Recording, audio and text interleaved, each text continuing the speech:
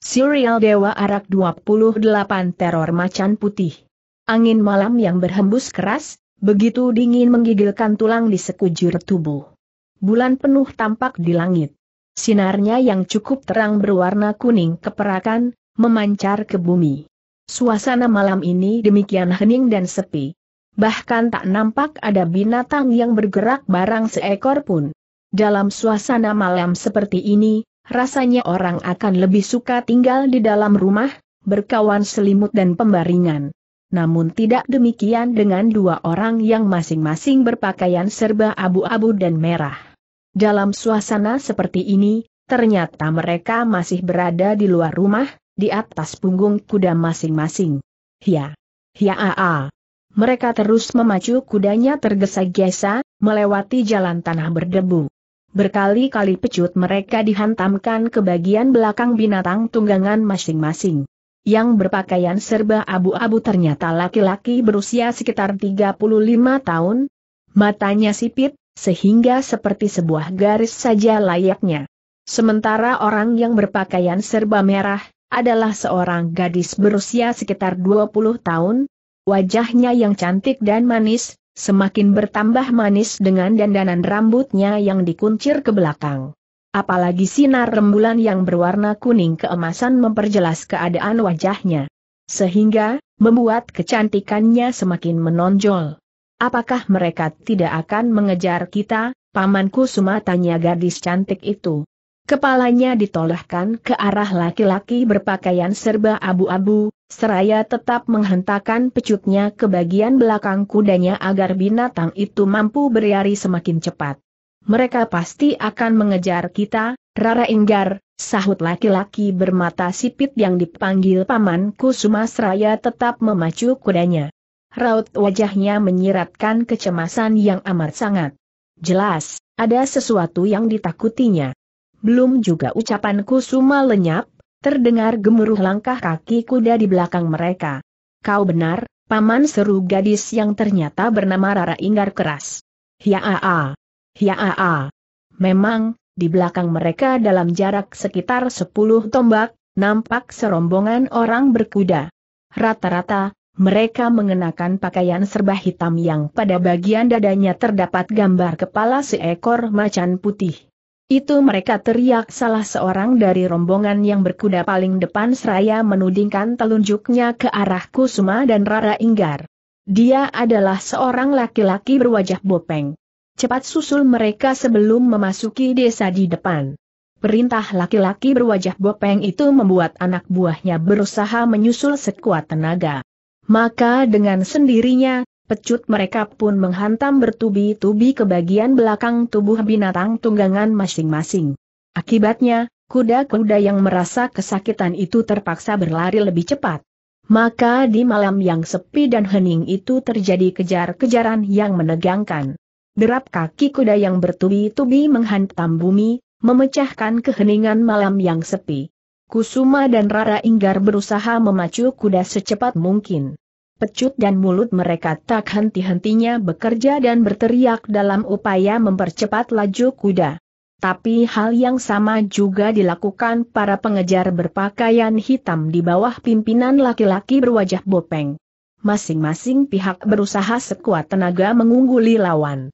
Dan memang, hasilnya ditentukan kuda tunggangan mereka. Namun ternyata, kuda orang-orang berpakaian hitam itu begitu kuat dan memiliki kemampuan lari yang cepat. Dan kini, sedikit demi sedikit jarak di antara mereka semakin bertambah dekat. Maka sudah bisa diperkirakan hasilnya. Tapi, rupanya laki-laki berwajah bopeng itu tidak sabar lagi menunggu.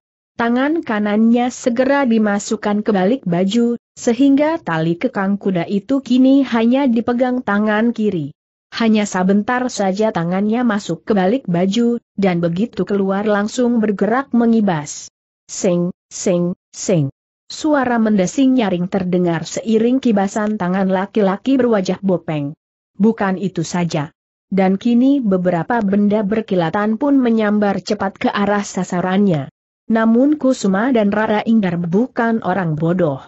Meskipun tidak mendengar, tapi dari suara desing tajam langsung bisa diketahui kalau lawan telah mengirimkan serangan. Cap, satu dari sekian banyak pisau yang dilepaskan laki-laki berwajah bopeng itu ternyata mengenai kaki kuda kusuma. Seketika terdengar ringkikan diiringi tersungkurnya kuda ke tanah bersama tubuh laki-laki bermata sipit itu. Paman jerit Rara Inggar kaget. Jangan pedulikan aku, Inggar. Cepat lari seruan kecemasan Kusuma telah memaksa Rara Inggar memacu kudanya kembali tubuh laki-laki berpakaian abu-abu itu jatuh di tanah. Dan sebelum bangkit berdiri, tangan kanannya bergerak mengibas. Dan, sing, sing, sing. Sinar-sinar terang berkilauan seketika meluncur cepat ke arah gerombolan orang-orang berseragam hitam itu. Keparat. Laki-laki berwajah bopeng itu berteriak memaki melihat serangan benda-benda berkilauan yang tak lain dari beberapa bilah pisau, Mau tidak mau, hal itu membuat dia dan rombongannya memperlambat langkah kuda untuk menghadapi serangan. Beberapa di antara mereka segera mencabut senjata masing-masing untuk menangkis serangan.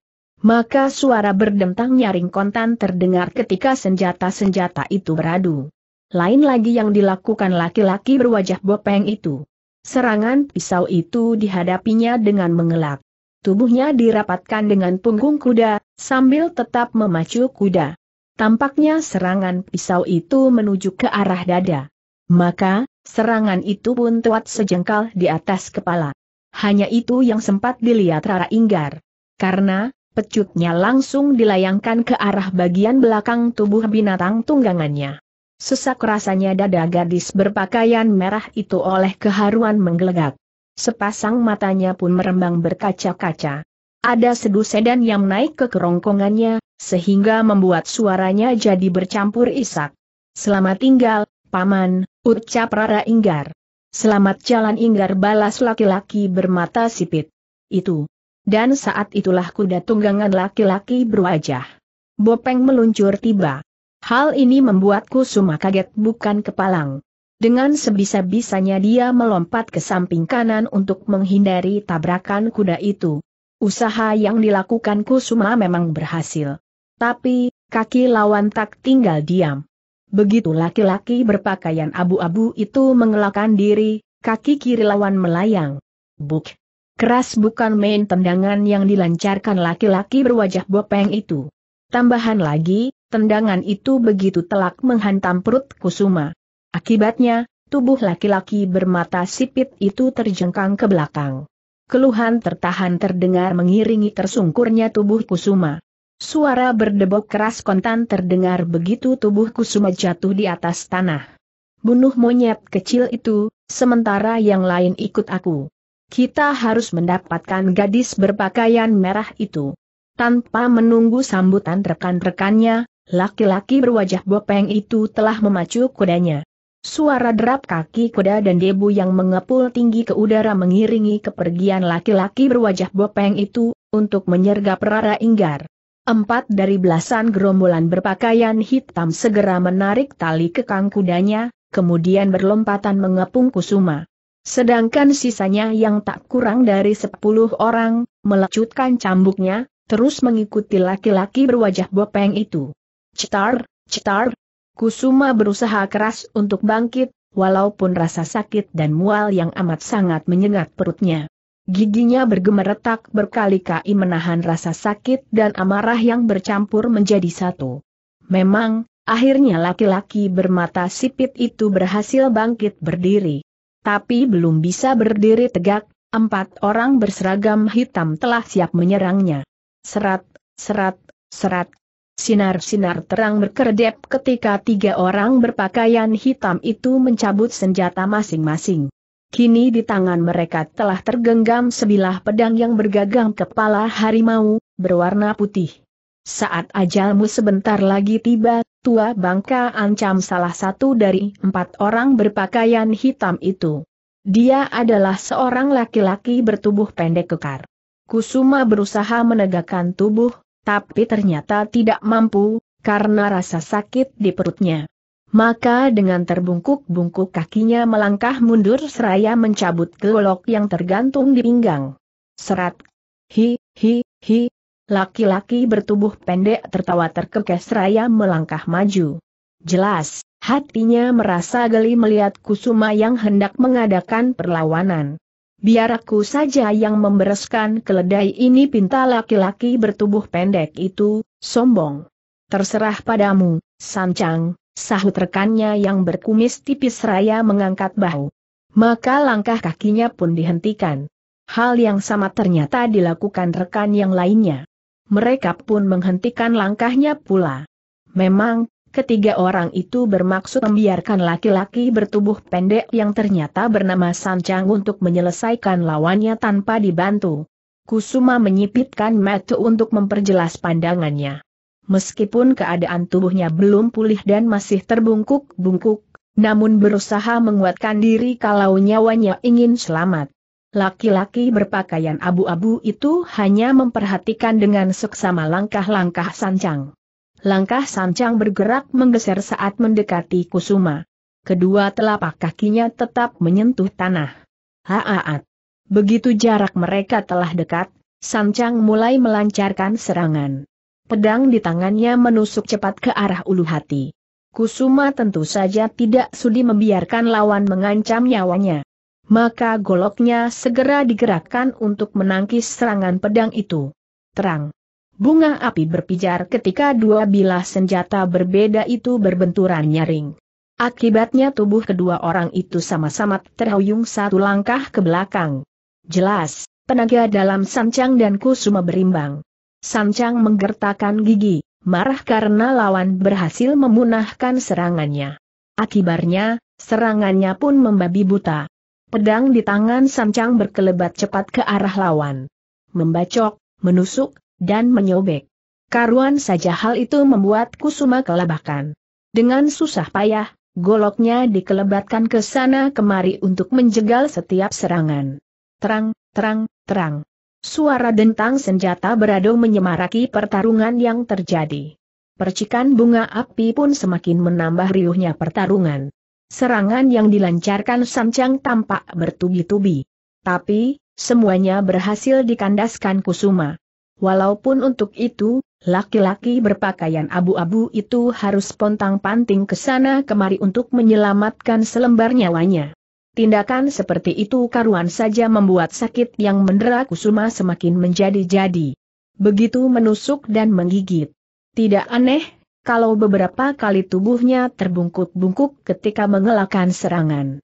Tak sampai delapan jurus, Kusuma sudah terdesak hebat. Bahkan beberapa bagian tubuhnya mulai terserempet senjata lawan. Sementara cairan merah kental pun mulai mengalir dari bagian yang terluka. Kalau saja Kusuma diberi kesempatan memulihkan diri, mungkin tidak akan semudah itu Sancang mendesak dan bahkan membuatnya terluka. Hih! Wut! Krot! Ah ah ah! Kusuma kontan menjerit keras ketika pedang Sancang menghunjam perutnya hingga tembus ke punggung. Darah segar pun munkrat-munkrat dari bagian yang tertembus pedang. Sepasang mata laki-laki bermata sipit itu membelalak menjemput ajal. Golok yang tergenggam pun terlepas dari cekalan. Dan ketika Sancang menarik pedangnya, tubuh Kusuma pun roboh ke tanah. Sebentar dia berkelojotan, lalu tewas. Ha, ha, ha. Tawa bergelak Sancang yang disusul tawa ketiga rekannya berkumandang memecah keheningan malam. Sebuah tawa kemenangan. Tinggal gadis manis itu yang menjadi buruan kita, ujar Sancang dengan dada dibusungkan. Tampak jelas, dia merasa bangga atas kemenangannya. Mudah-mudahan Kang Jalatang berhasil menangkapnya, harap laki-laki yang berkumis tipis. Sancang dan kedua orang rekannya hanya menganggukkan kepala saja, tidak menyambuti ucapan itu. Mari kita menyusulnya, ajak Sancang seraya berjalan meninggalkan tempat itu. Ketiga rekannya sama sekali tidak menyahuti ucapan laki-laki pendek itu mereka bergegas mengikuti setelah menyetujui saran rekannya. Hih! Hanya dengan menekuk lutut dan menekan kaki di tanah, tubuh keempat orang itu sudah melesat ke atas. Kemudian, mereka hinggap di atas punggung kuda masing-masing. Samcang dan ketiga orang rekannya mendecak pelan seraya menggeprakan tali kekang. Sekejap kemudian, binatang-binatang tunggangan itu pun mulai berpacu cepat. Hia!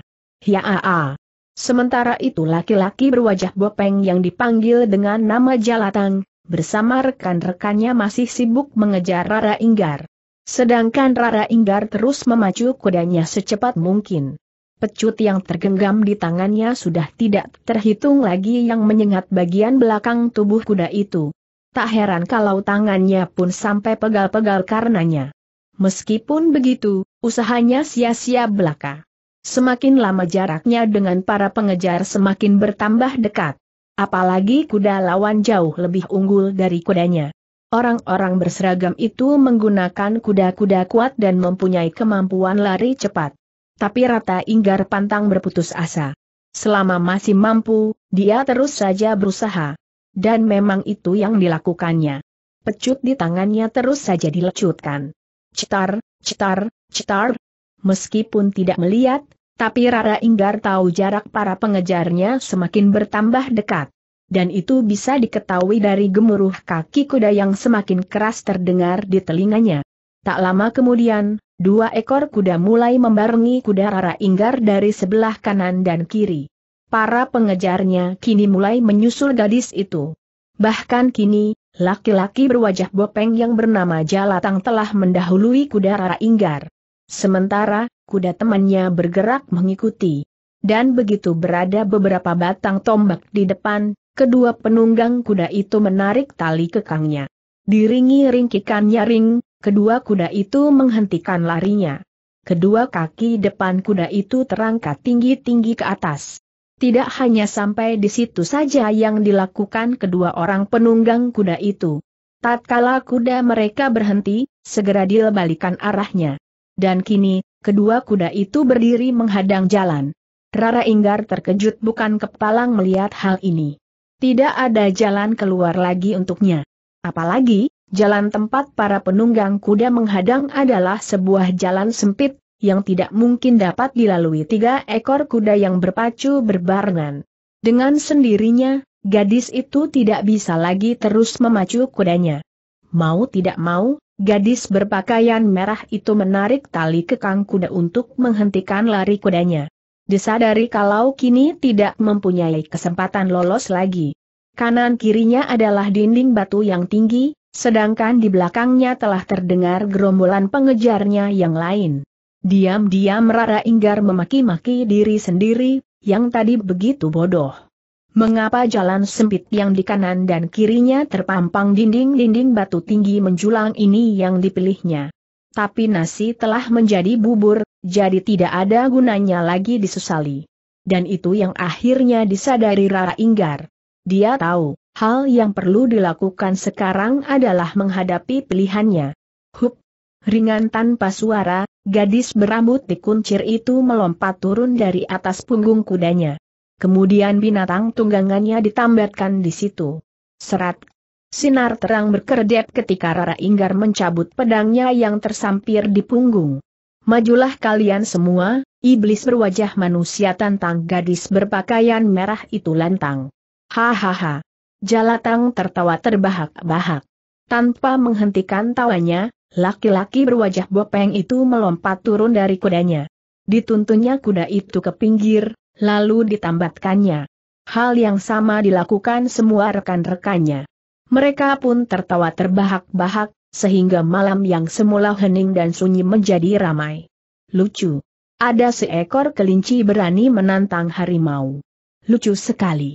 Ha, ha, ha, kata Jalatang bernada meremahkan sambil menuding ke arah Rara Inggar.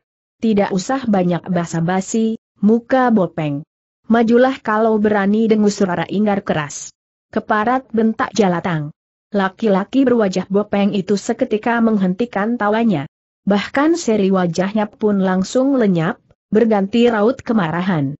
Dengan langkah lebar-lebar, dia maju menghampiri Rara Inggar. Sepasang matanya nampak menyorotkan ancaman hebat. Perempuan liar. Orang sepertimu harus diberi pelajaran biar kapok. Terdengar bergetar suara yang keluar dari mulut laki-laki berwajah bopeng. Betapa tidak? Karena, ucapan itu keluar dari hati yang panas terbakar amarah. Kau akan kutelanjangi dan kami perkosa beramai-ramai sampai mati lanjut jalatang. 2. Ken, Sebuah seruan kaget terdengar dari mulut seorang laki-laki berkulit hitam. Raut wajahnya tampak menyiratkan keterkejutan. Dan perasaan yang sama juga terpampang di raut wajah orang-orang berseragam hitam yang lainnya. Hanya saja, mereka tidak sampai mengeluarkan seruan. Jalatang menoleh ke arah laki-laki berkulit hitam yang berdiri di belakangnya dengan sinar mata penuh teguran. Kau tidak ingat larangan ketua agak ragu-ragu laki-laki berkulit hitam itu mengeluarkan ganjalan hatinya, karena tahu kalau Jalatang tidak senang atas tegurannya. Hektometer. Kalau kalian tidak membocorkan rahasia ini, aku yakin ketua tidak akan tahu kata Jalatang, enteng. Pandangannya juga beredar merayapi rekan-rekannya. Wanita ini telah terlalu menghina. Jadi, harus menerima balasan yang setimpal. Apa kalian tidak ingin menikmatinya juga? Tapi, Ken, laki-laki berkulit hitam masih mencoba membantah. Bagaimana tugas yang diberikan ketua kita itu bisa diurus setelah urusan kita selesai tandas? Jalatang tak sabar. Laki-laki berkulit hitam itu pun diam. Dia tahu, Jalatang telah marah sekali. Maka kalau tetap bersikeras, bukan tidak mungkin laki-laki berwajah bopeng itu akan membunuhnya. Dengan amarah yang semakin berkobar, Jalatang kembali membalikan tubuhnya dan bersiap melaksanakan maksudnya. Tapi belum juga sempat melangkah. Rara Inggar yang sejak tadi mendengar niat busuk Jalatang dan sudah merasa geram bukan kepalang, langsung melompat menyerang. Sing! Suara mendesing nyaring mengawali tibanya serangan pedang Rara Inggar yang meluncur deras ke arah leher Jalatang. Laki-laki berwajah bopeng itu kontan terperanjat. Sungguh tidak disangka kalau gadis berpakaian merah itu mempunyai gerakan demikian cepat sehingga, tahu-tahu saja ujung pedang lawan hampir menembus lehernya. Tidak ada kesempatan lagi bagi laki-laki berwajah bopeng ini untuk menangkis serangan itu apalagi untuk mencabut senjatanya. Memang, tibanya serangan itu demikian cepat. Hih! Sambil menggertakkan gigi, kaki Jalatang dijejakkan di tanah. Dia langsung bersalto di udara sehingga serangan itu lewat di celah-celah kedua kakinya. Rara Inggar yang tengah dilanda kemarahan menggelegak sama sekali tidak memberi kesempatan. Begitu serangan pertamanya gagal ujung pedangnya terus meluncur deras mengancam berbagai bagian yang mematikan. Kelebatan pedangnya menimbulkan suara mendesing nyaring dari udara yang terobek. Tampaknya, serangan itu disertai pengerahan tenaga dalam tinggi. Akibatnya Jalatang harus berjuang keras menyelamatkan selembar nyawanya. Tubuhnya terpontang-panting ke sana kemari, menghindari malaikat maut yang ada di ujung pedang lawannya. Jalatang sadar kalau tidak ada bantuan akan tewas di tangan gadis berambut dikuncir itu. Serangan-serangan yang dilancarkan Rara Inggar terlalu gencar, susul menyusul seperti gelombang laut. Bahkan tidak memberinya kesempatan sama sekali. Jangankan untuk balas menyerang, mengelak saja sulit bukan main. Sebuah keuntungan ada di pihak Jalatang. Rekan-rekannya rupanya mengetahui kesulitan yang dihadapinya. Itulah sebabnya, sebelum hal terburuk terjadi pada dirinya rekan-rekannya segera meluruk membantu. Suara-suara mendesing diikuti berkeredapnya sinar-sinar menyilaukan dari senjata-senjata yang berkelebat menuju ke berbagai bagian tubuh, membuat Rara Inggar menghentikan desakannya pada Jalatang. Sing! Suara mendesing nyaring mengawali tibanya serangan pedang Rara Inggar yang meluncur deras ke arah leher Jalatang. Hih sambil menggertakkan gigi, kaki Jalatang dijejakkan di tanah. Dia langsung melompat, sehingga serangan itu lewat di celah-celah kedua kakinya. Orang-orang berseragam hitam bergambar kepala macan putih di bagian dada, terperanjat ketika merasakan tangan yang menggenggam senjata terasa lumpuh. Akibatnya, senjata-senjata yang digenggam pun terlepas dari pegangan dan jatuh ke tanah. Bukan hanya itu saja. Tanpa dapat dicegah, kaki mereka pun terhuyung-huyung ke belakang. Hal ini membuat orang-orang berseragam hitam itu sadar. Ternyata Rara Inggar bukan lawan sembarangan. Meskipun akibatnya cukup mengejutkan, tapi dari usaha yang mereka lakukan membuat Jalatang lolos dari ancaman maut. Hup! Ringan tanpa suara, laki-laki berwajah bopeng itu mendaratkan kedua kakinya di tanah. Hahaha.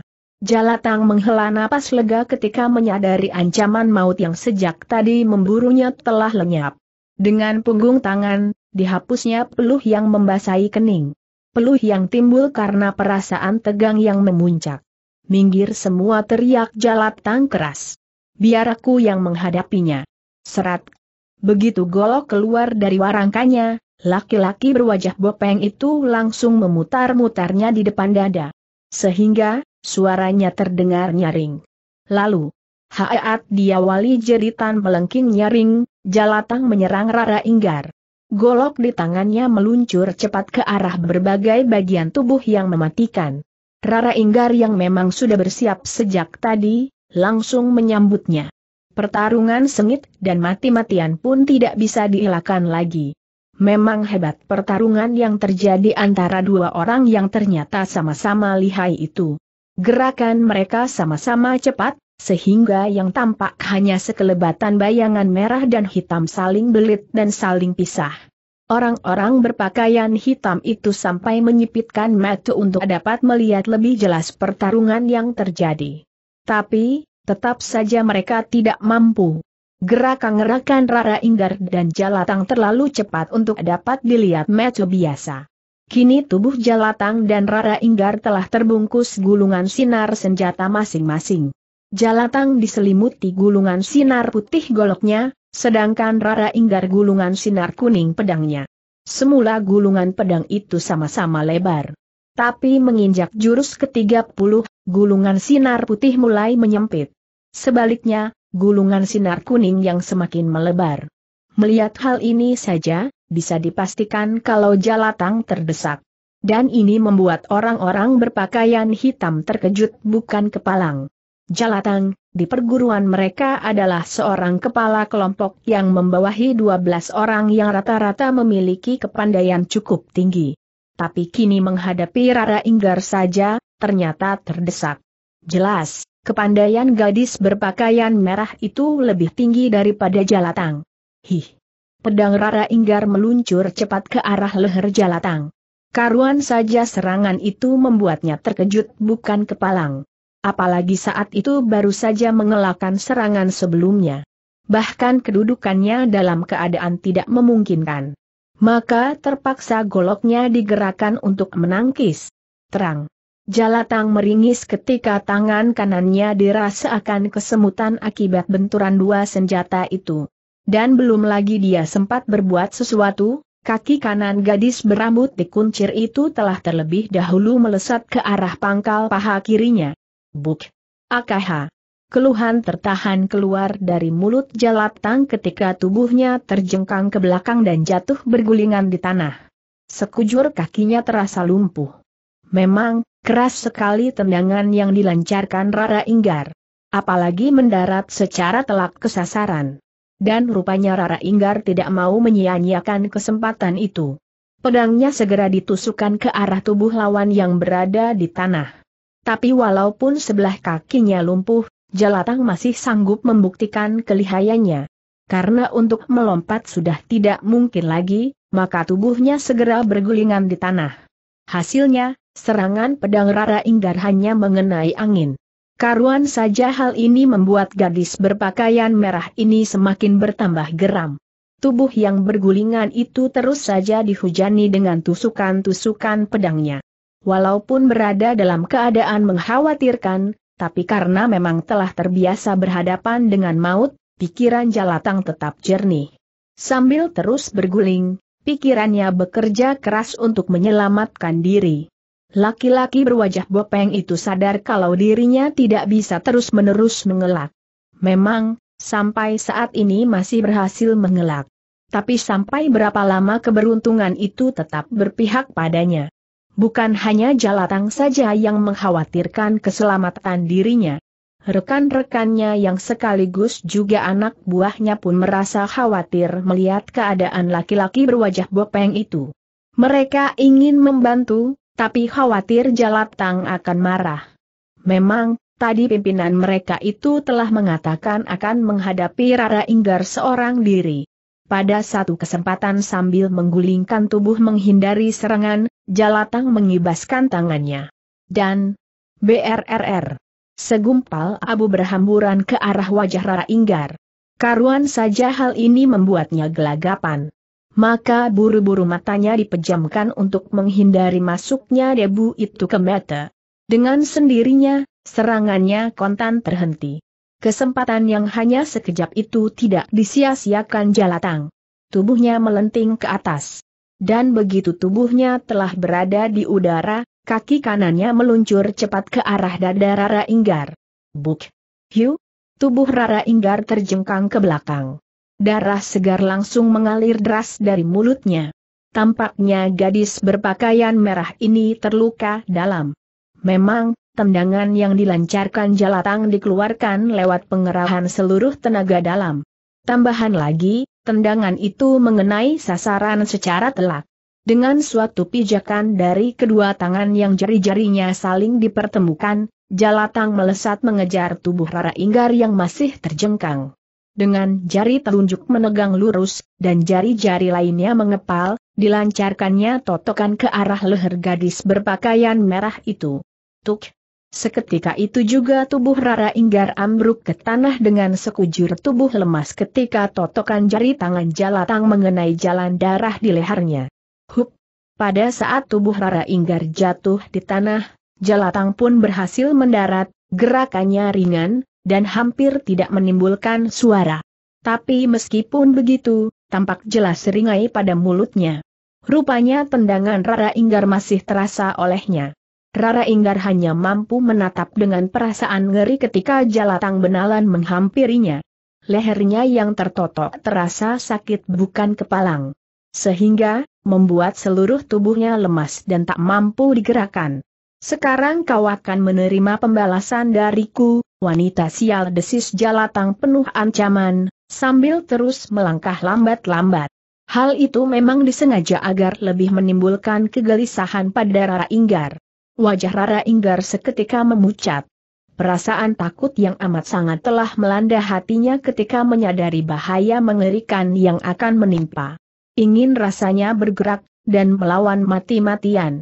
Tapi apa daya? Jangankan melawan, menggerakkan ujung jemarinya saja tidak mampu. Seluruh tubuh gadis itu lemas bukan main. Belum lagi ditambah luka dalamnya, akibat tendangan lawan. Ternyata ketegangan bukan hanya melanda hati Rara Inggar, tapi juga semua orang yang mengenakan pakaian hitam.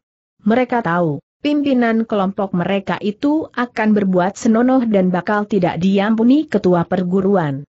Memang diakui, sebenarnya mereka ingin juga merasakan kemolekan tubuh gadis itu. Tapi keinginan itu dikalahkan rasa takut akan hukumannya. Namun demikian, perasaan seperti itu tidak melanda Jalatang.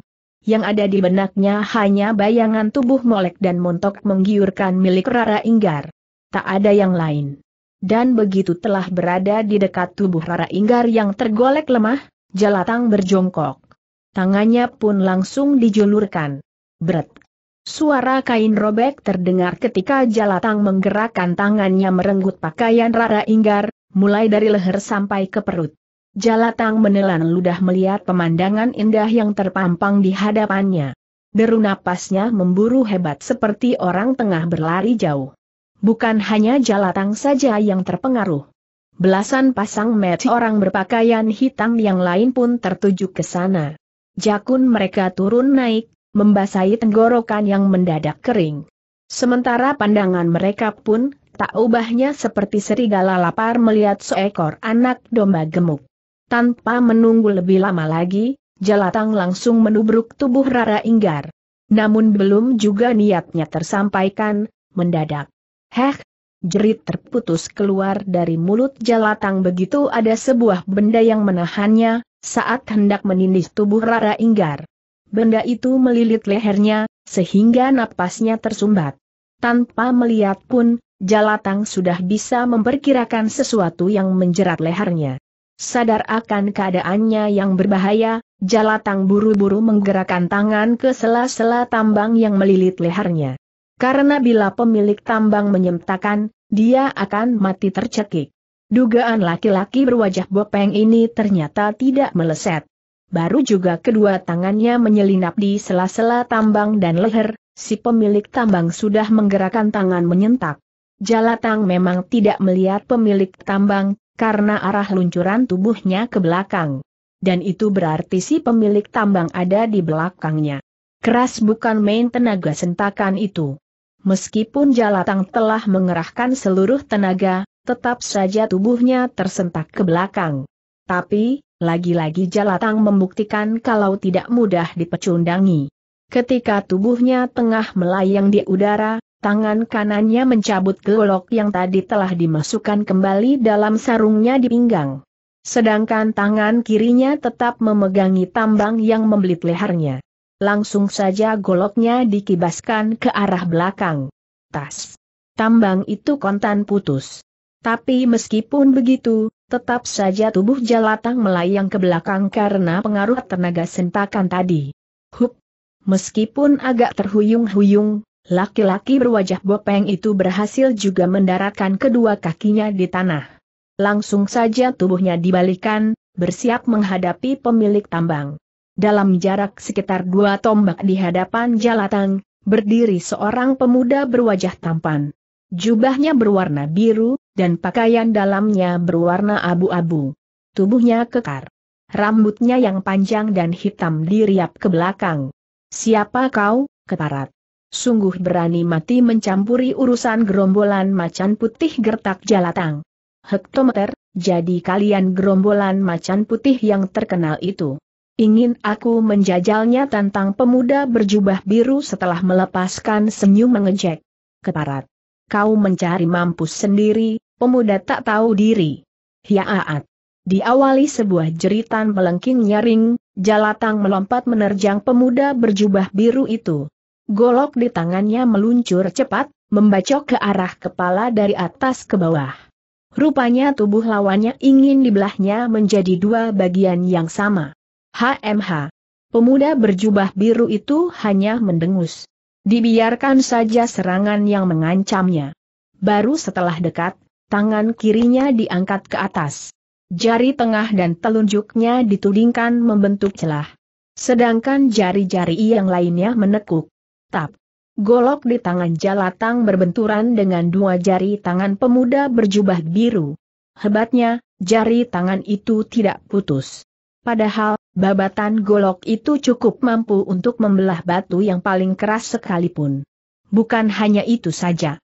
Kedua jari tangan pemuda berjubah biru lalu bergerak menjepit, sebelum Jalatang sempat menarik goloknya kembali.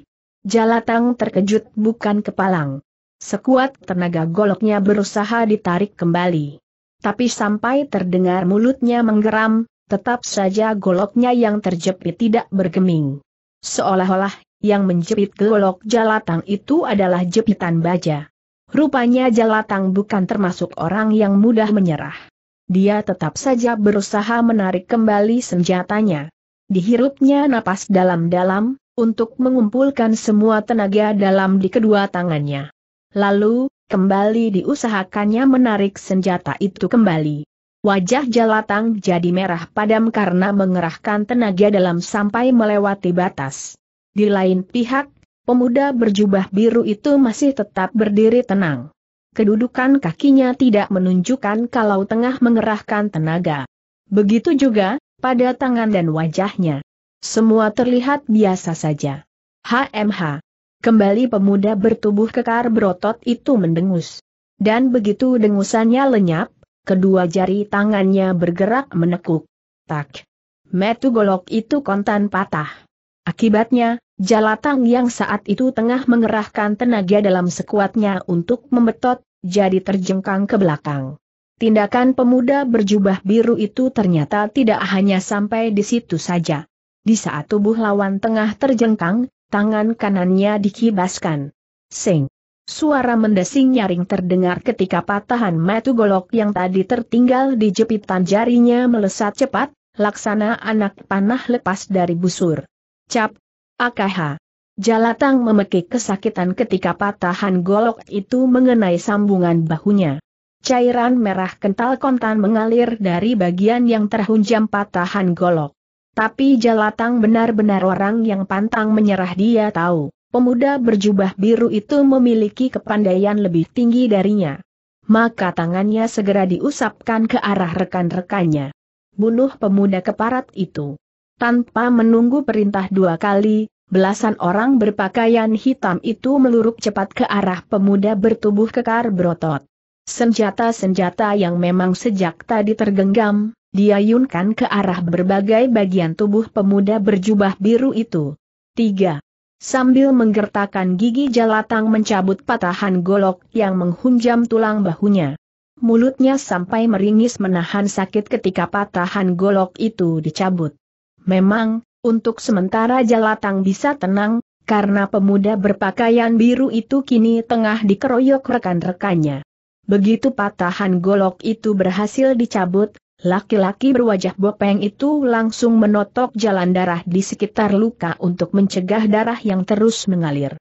Setelah itu, baru kepalanya ditolehkan menatap pemuda berjubah biru yang dikeroyok rekan-rekannya.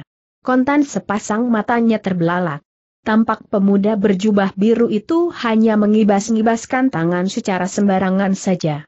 Hasilnya, Tubuh orang-orang berpakaian hitam itu berpentalan tak tentu arah sebelum berhasil mencapai tubuh lawan.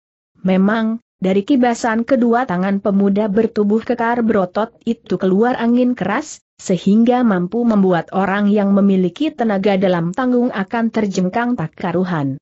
Jalatang menggeram ketika melihat semua rekannya bergeletakan di tanah. Kemudian sambil mengeluarkan pekikan nyaring, kembali dilancarkan serangan dengan goloknya yang tinggal sepotong itu. Laki-laki berwajah bopeng itu melompat ke atas. Dan dari atas, tubuhnya meluruk ke bawah. Dan laksana burung Garuda hendak menerkam mangsa, tubuhnya meluncur sambil mengarahkan goloknya ke ubun-ubun lawan. HMH. Lagi-lagi pemuda berjubah biru itu hanya mendengus. Tanpa menggeser kedudukan kaki, tangan kanannya diulurkan luar biasa. Entah bagaimana caranya, tahu-tahu pergelangan tangan kanan Jalatang telah berhasil dicekalnya. Dan sekali pemuda bertubuh kekar berotot itu bergerak membetot, tubuh Jalatang tertarik ke bawah, dan jatuh keras di tanah. Keras bukan main betotan pemuda bertubuh kekar berotot itu. Sehingga sambungan pergelangan bahu Jalatang sampai terlepas.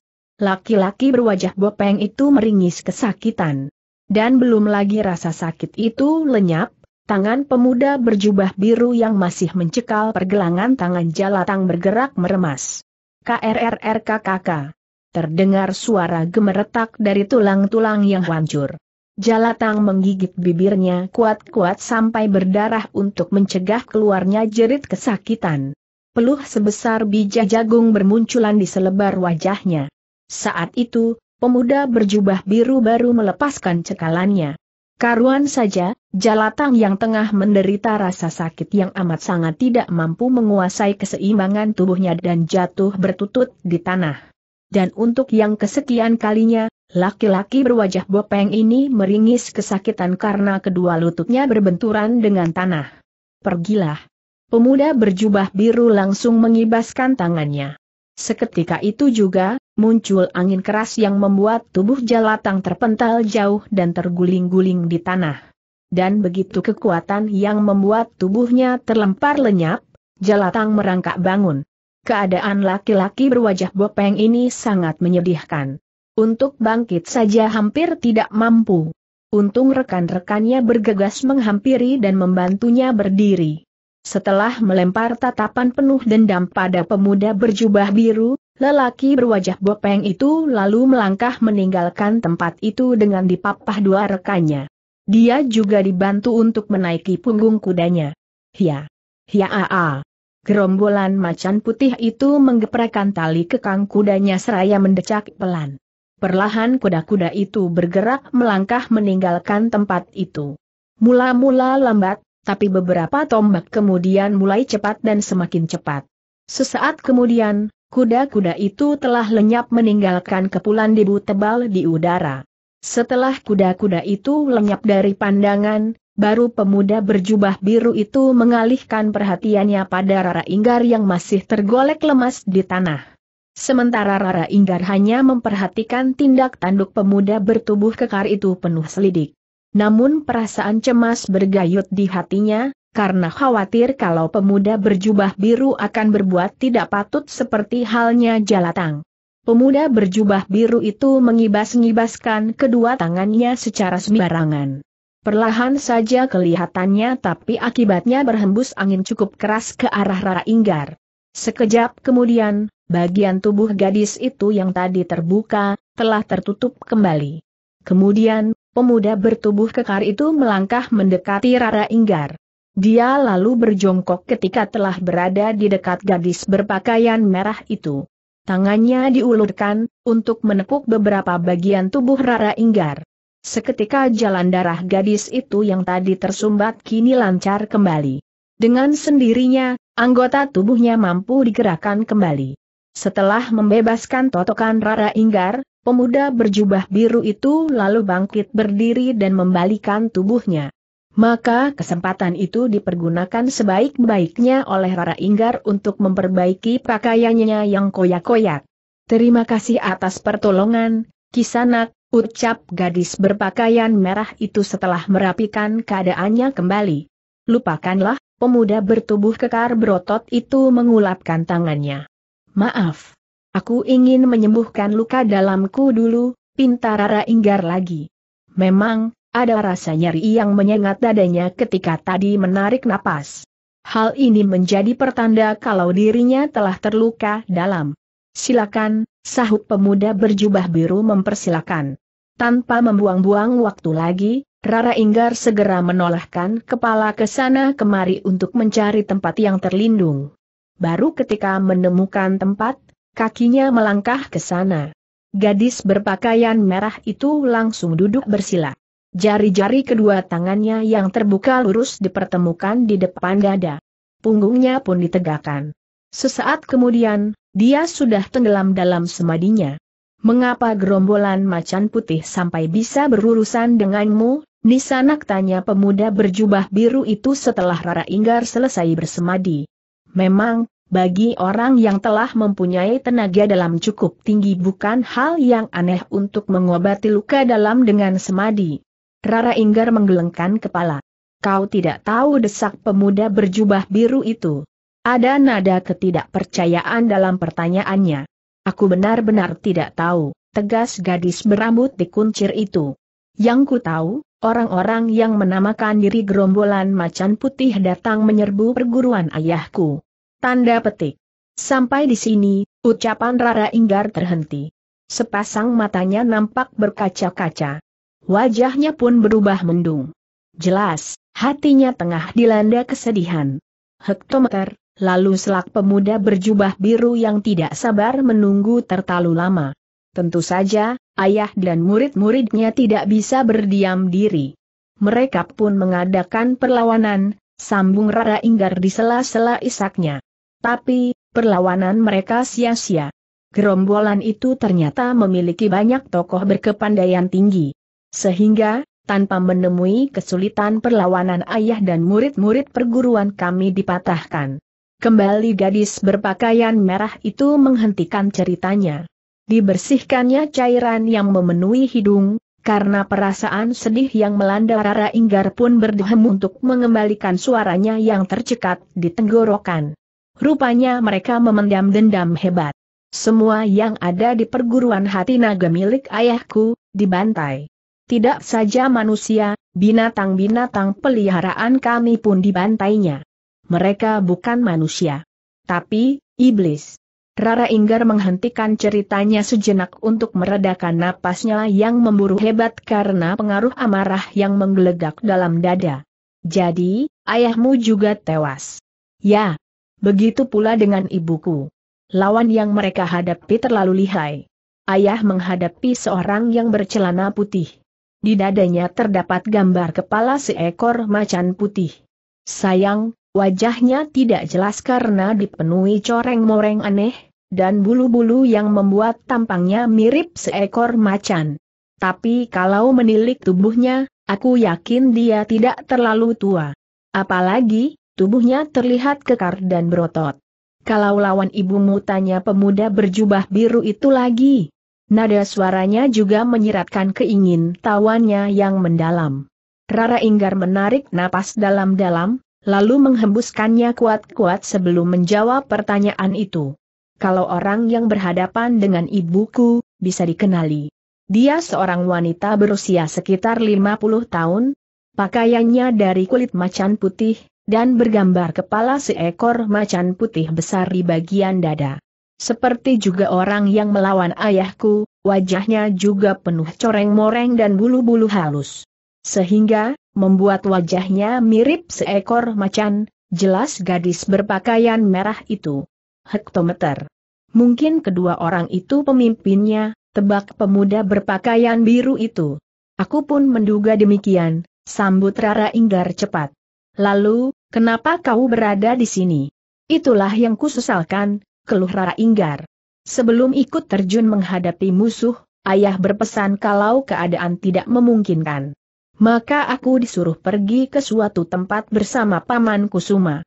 Tapi di perjalanan, kami dihadang gerombolan macan putih. Bahkan Paman Kusuma berhasil dirobohkan. Yah, nasibnya sudah bisa kuduga. Suasana menjadi hening sejenak ketika Rara Inggar menghentikan ceritanya. Aku juga telah mendengar berita tentang gerombolan macan putih, yang konon tidak pernah terkalahkan. Mungkin benar katamu kalau mereka memendam dendam. Karena sepanjang yang ku dengar, mereka tidak pernah membunuh binatang-binatang, pemuda berjubah biru mengernyitkan keningnya. Apakah orang tuamu mempunyai musuh? Rara Inggar menggelengkan kepala. Cobalah ingat-ingat Nisanak. Aku yakin perlakuan gerombolan macan putih ini mempunyai latar belakang. Mungkin saja, guru, kakak, atau ayah kedua pemimpin gerombolan itu tewas di tangan orang tuamu atau kakek gurumu. Tanda petik. Ah! Kau benar sentak Rara Inggar tiba-tiba. Nada keterkejutan tampak jelas, baik pada wajah maupun nada suaranya. Jadi, orang tuamu benar telah membunuh orang yang mempunyai hubungan dengan pemimpin gerombolan macan putih. Rara Inggar menggelengkan kepala. Hektometer. Lalu wajah pemuda bertubuh kekar itu seketika berubah.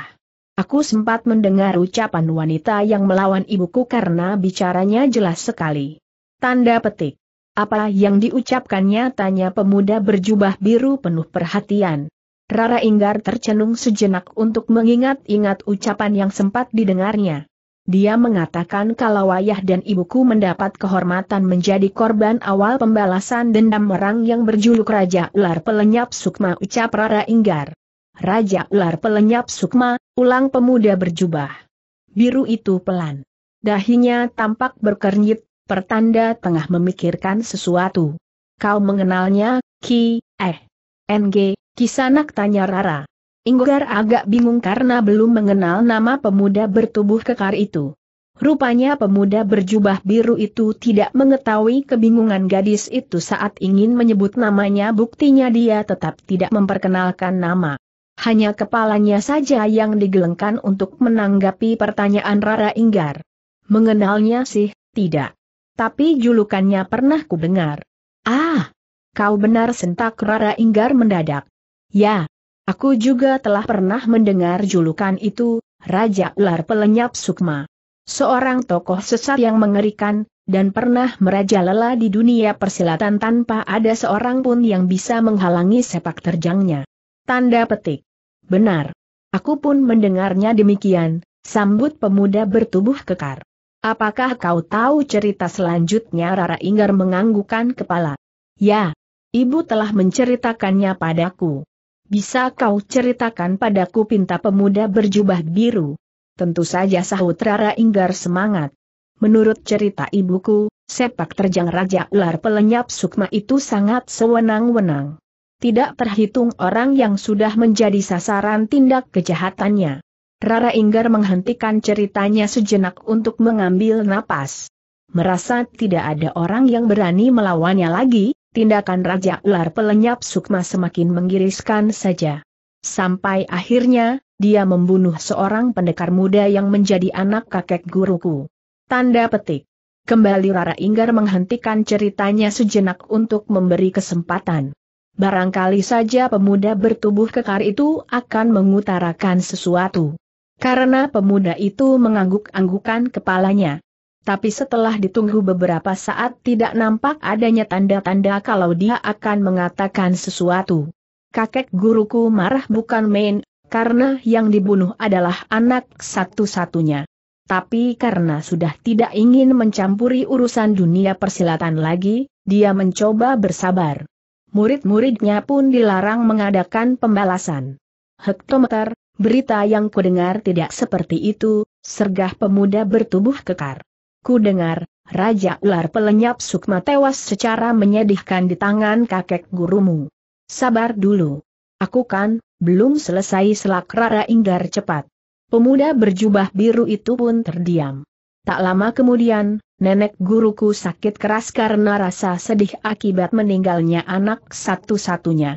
Tidak ada lagi harapan untuk sembuh karena dia memang tidak ingin berharap untuk kesembuhan. Usia tua, rasa sedih, dan ketidakinginan untuk sembuh, semakin menambah parah sakitnya. Rara Inggar menelan ludah untuk membasahi tenggorokannya yang kering karena terlalu banyak bercerita. Sebelum meninggal, dia mempunyai sebuah permintaan agar tidak penasaran. Beliau ingin agar kematian anak tunggalnya dapat terbalaskan Raja Ular Pelenyap Sukma harus ikut pergi ke alam baka. Tidak ada pilihan lagi bagi kakek guruku. Dia pun kembali terjun dalam dunia persilatan untuk mencari Raja Ular Pelenyap Sukma. Ketika bertemu, pertarungan pun tidak bisa dielakkan lagi. Melalui pertempuran yang sengit dan mati-matian, kakek guruku berhasil membinasakan Raja Ular Pelenyap Sukma. Hingga akhirnya, nenek guruku dapat mati dengan senyum di bibir, Rara Inggar menutup ceritanya. Suasana menjadi hening ketika Rara Inggar menghentikan ceritanya. Apalagi, pemuda berjubah biru juga tidak berkata-kata. Kurasa teka-teki telah terjawab, kata Rara Inggar, kembali memecahkan kehenungan di antara mereka. Teka-teki pemuda berpakaian biru mengernyitkan dahi. Ya, teka-teki yang menyebabkan gerombolan macan pulih begitu keterlaluan membasmi perguruan hati naga sudah bisa ditebak, dua orang pimpinan gerombolan macan putih mempunyai hubungan dengan Raja Ular Pelenyap Sukma. Karena kakek guruku telah tiada, pasti. Dendam itu dilimpahkan pada murid-muridnya. Jadi kakek gurumu banyak mempunyai murid tanya pemuda berjubah biru itu. Rara Inggar mengangguk. Kakek guruku mempunyai empat orang murid. Satu di antaranya adalah wanita, yang kemudian menjadi ibuku. Sedangkan ayahku, juga salah satu dari empat murid itu, jawab Rara Inggar. Berarti, kau masih mempunyai dua orang paman guru, Nisanak Rara Inggar mengangguk. Pasti kau akan menuju ke sana, duga pemuda berjubah biru itu. Musibah ini harus kuberitahukan kedua paman guruku. Sekaligus, aku hendak memberitahu kemungkinan gerombolan macan putih akan menyerbu tempat mereka. Aku yakin, lama-kelamaan gerombolan macan putih akan menemukan tempat mereka. Di mana tempat tinggal kedua paman gurumu maaf. Bukannya aku tidak percaya padamu. Kisanak. Tapi, ini terlalu membahayakan. Sekali lagi, aku minta maaf, tolak Rara Inggar halus. Tidak apa-apa, sahut pemuda berjubah biru dengan senyum di bibir. Aku bisa memakluminya. Tanda petik. Terima kasih, ucap Rara Inggar tulus. Oh, ya. Boleh aku tahu ke mana arah yang kau tuju? Barangkali saja arah yang kita tempuh sama, Pemuda bertubuh kekar membuka suara lagi setelah beberapa saat lamanya tercenung. NG, aku hendak menuju ke barat. Tanda petik. Kalau begitu, arah yang kita tuju sama sentak pemuda berjubah biru. Aku pun hendak menuju ke barat. Ke desa Ganjar. Apakah kau tidak keberatan bila kita menempuh perjalanan bersama? Tentu saja tidak jawab Rara Inggar sambil tersenyum manis. Kapan kau hendak berangkat di sana? Sekarang juga, sahut Rara Inggar cepat. Lebih cepat lebih baik. Aku yakin, gerombolan macan putih tidak akan menghentikan pencariannya terhadap diriku. Setelah berkata demikian, Rara Inggar segera melesat ke arah kudanya yang masih tertambat di dekat dinding tebing. Rupanya, gerombolan macan putih lupa membunuh binatang tunggangan gadis berpakaian merah itu. Kau sendiri, bagaimana tanya Rara Inggar ketika telah berada di atas punggung kudanya. Wajah gadis berambut dikuncir itu tampak kebingungan. Haruskah pemuda bertubuh kekar itu berlari, sementara dia menunggang kuda? Tidak usah khawatir, jawab pemuda berjubah biru sambil tersenyum lebar. Meskipun Rara Inggar belum mengatakan, sudah bisa diduga hal yang menyebalikan gadis itu kebingungan. Ini untuk pertama kalinya pemuda berjubah biru itu tersenyum. Karena sejak tadi sikapnya terlihat sungguh-sungguh. Bahkan tak pernah tersenyum itulah sebabnya, Rara Inggar agar terpuka sejenak melihat pemuda itu tersenyum. Tapi pemuda berjubah biru itu sama sekali tidak mempedulikan keheranan Rara Inggar kemudian beberapa jarinya dimasukkan ke dalam mulut. Suiit. Suitan nyaring melengking terdengar. Keras bukan main, sehingga menggema ke seluruh penjuru tempat itu. Jelas, pemuda berjubah biru itu mengerahkan tenaga dalam pada suitannya. Rara Inggar sampai menekap telinga dengan kedua tangan. Suitan itu memang membuat telinga berdenging dan kakinya menggigil. Dari sini saja sudah bisa diperkirakan kekuatan tenaga dalam yang dimiliki pemuda berjubah biru itu. Sesaat kemudian terdengar suara bergemuruh. Di kejauhan tampak seekor kuda berwarna coklat berlari cepat menuju ke arah mereka. Debu yang mengepul tinggi terlihat di belakangnya. Itulah kudaku, kilat namanya, Jelas pemuda berjubah biru itu seraya menudingkan telunjuknya ke arah kuda coklat yang semakin lama semakin dekat. Sampai akhirnya, kuda itu telah berada dekat dengan dengan dirinya. Kuda coklat itu meringkik riang, ketika melihat pemuda berjubah biru. Dengan sikap manja, kepalanya digesek-gesekan ke dada majikannya. Pemuda berjubah biru itu mengusap-usap leher binatang tunggangannya. Kemudian, hup, hanya sekali genjotkan kaki, tubuh pemuda berjubah biru telah melayang ke atas. Kemudian, dia hinggap di atas punggung kuda. Manis dan indah gerakannya. Seekor kuda yang baik puji Rara Inggar tulus. Hektometer, hanya gumam perlahan pemuda berjubah biru. Yang menyambut ucapan Rara Inggar.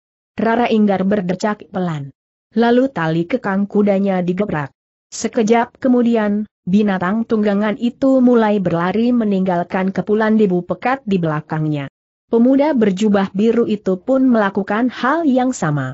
Sesaat kemudian, kuda coklat itu melesat menyusul kuda Rara Inggar yang telah melesat lebih dahulu. 4. Rara Inggar yang ingin segera memberitahu tentang malapetaka yang menimpa orang tuanya, segera memacu kudanya secepat mungkin. Pecut di tangannya berkali-kali menyengat bagian belakang kuda tunggangannya. Rara Inggar memang memaksa kudanya agar berlari secepat mungkin. Sementara pemuda berjubah biru itu sama sekali tidak memaksa kudanya. Pecutnya hanya sesekali saja dilayangkan. Tapi ternyata, lari kedua kuda itu bersisian. Jelas, kuda yang bernama kilat itu bukan kuda sembarangan. Bahkan ketika memasuki desa Mentawa, Rara Inggar tetap tak mengendurkan lari binatang tunggangannya. Bahkan pecutnya terus saja diayunkan. Pemuda berjubah biru itu menggeleng-gelengkan kepala melihat kelakuan Rara Inggar. Tapi, dia pun harus memacu kudanya pula kalau tidak ingin tertinggal.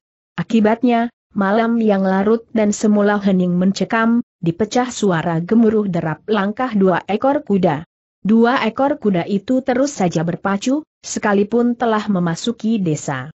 Para penduduk yang terjaga dari tidurnya karena gemuruh derap kaki kuda hanya bisa menyumpah serapah. Beberapa di antara mereka malah ada yang bangkit dan pembaringan. Dibukanya jendela, dan kepalanya melongok keluar. Semua itu didorong rasa ingin tahu terhadap orang tidak tahu diri yang telah menimbulkan suara berisik itu tapi yang mereka jumpai hanya gumpalan debu pekat yang ditinggalkan. Sementara, penyebab suara bergemuruh itu sudah tidak terlihat lagi. Memang, Rara Inggar dan pemuda berjubah biru itu telah berada di tempat yang jauh dari pemukiman penduduk. Di sini gadis berpakaian merah baru memperlambat lari kudanya. Lagi-lagi pemuda berjubah biru itu ikut pula memperlambat lari binatang tunggangannya. Apa yang kau ketahui tentang gerombolan macan putih? Nisanak tanya pemuda berjubah biru. Dia masih tetap memanggil seperti sebelumnya. Rupanya hatinya tidak berminat mengetahui nama gadis berpakaian merah itu. Rara Inggar menggelengkan kepala. Kau tahu gadis itu malah balas bertanya. Sedikit. Karena sebelum gerombolan macan putih menyerbu perguruan ayahmu yang terletak di desa Kaung, aku telah beberapa kali melihat hasil perbuatan mereka. Bisa kau jelaskan tentang gerombolan macan putih pintar Rara Inggar? Pemuda bertubuh kekar itu mengangguk gerombolan macan putih mempunyai puluhan anak buah. Pemimpinnya adalah orang yang berhadapan dengan ayahmu. Sedangkan yang bertarung melawan ibumu adalah wakilnya, jelas pemuda berjubah biru itu. Kedua orang itu memiliki tiga orang pemimpin regu. Setiap pemimpin regu mempunyai empat orang pemimpin kelompok yang masing-masing memiliki belasan bawahan lagi. Rara Inggar mengernyitkan dahinya mendengar penuturan pemuda bertubuh kekar tentang gerombolan macan putih. Rupanya, dia merasa bingung mendengar uraian itu. Lalu bagaimana kita tahu kalau orang yang dihadapi adalah keroco, pemimpin kelompok, atau pemimpin regu tanya Rara Inggar lagi beberapa saat kemudian, setelah berhasil mencerna penjelasan tadi. Dari gambar kepala macan pada pakaian mereka, jawab pemuda itu.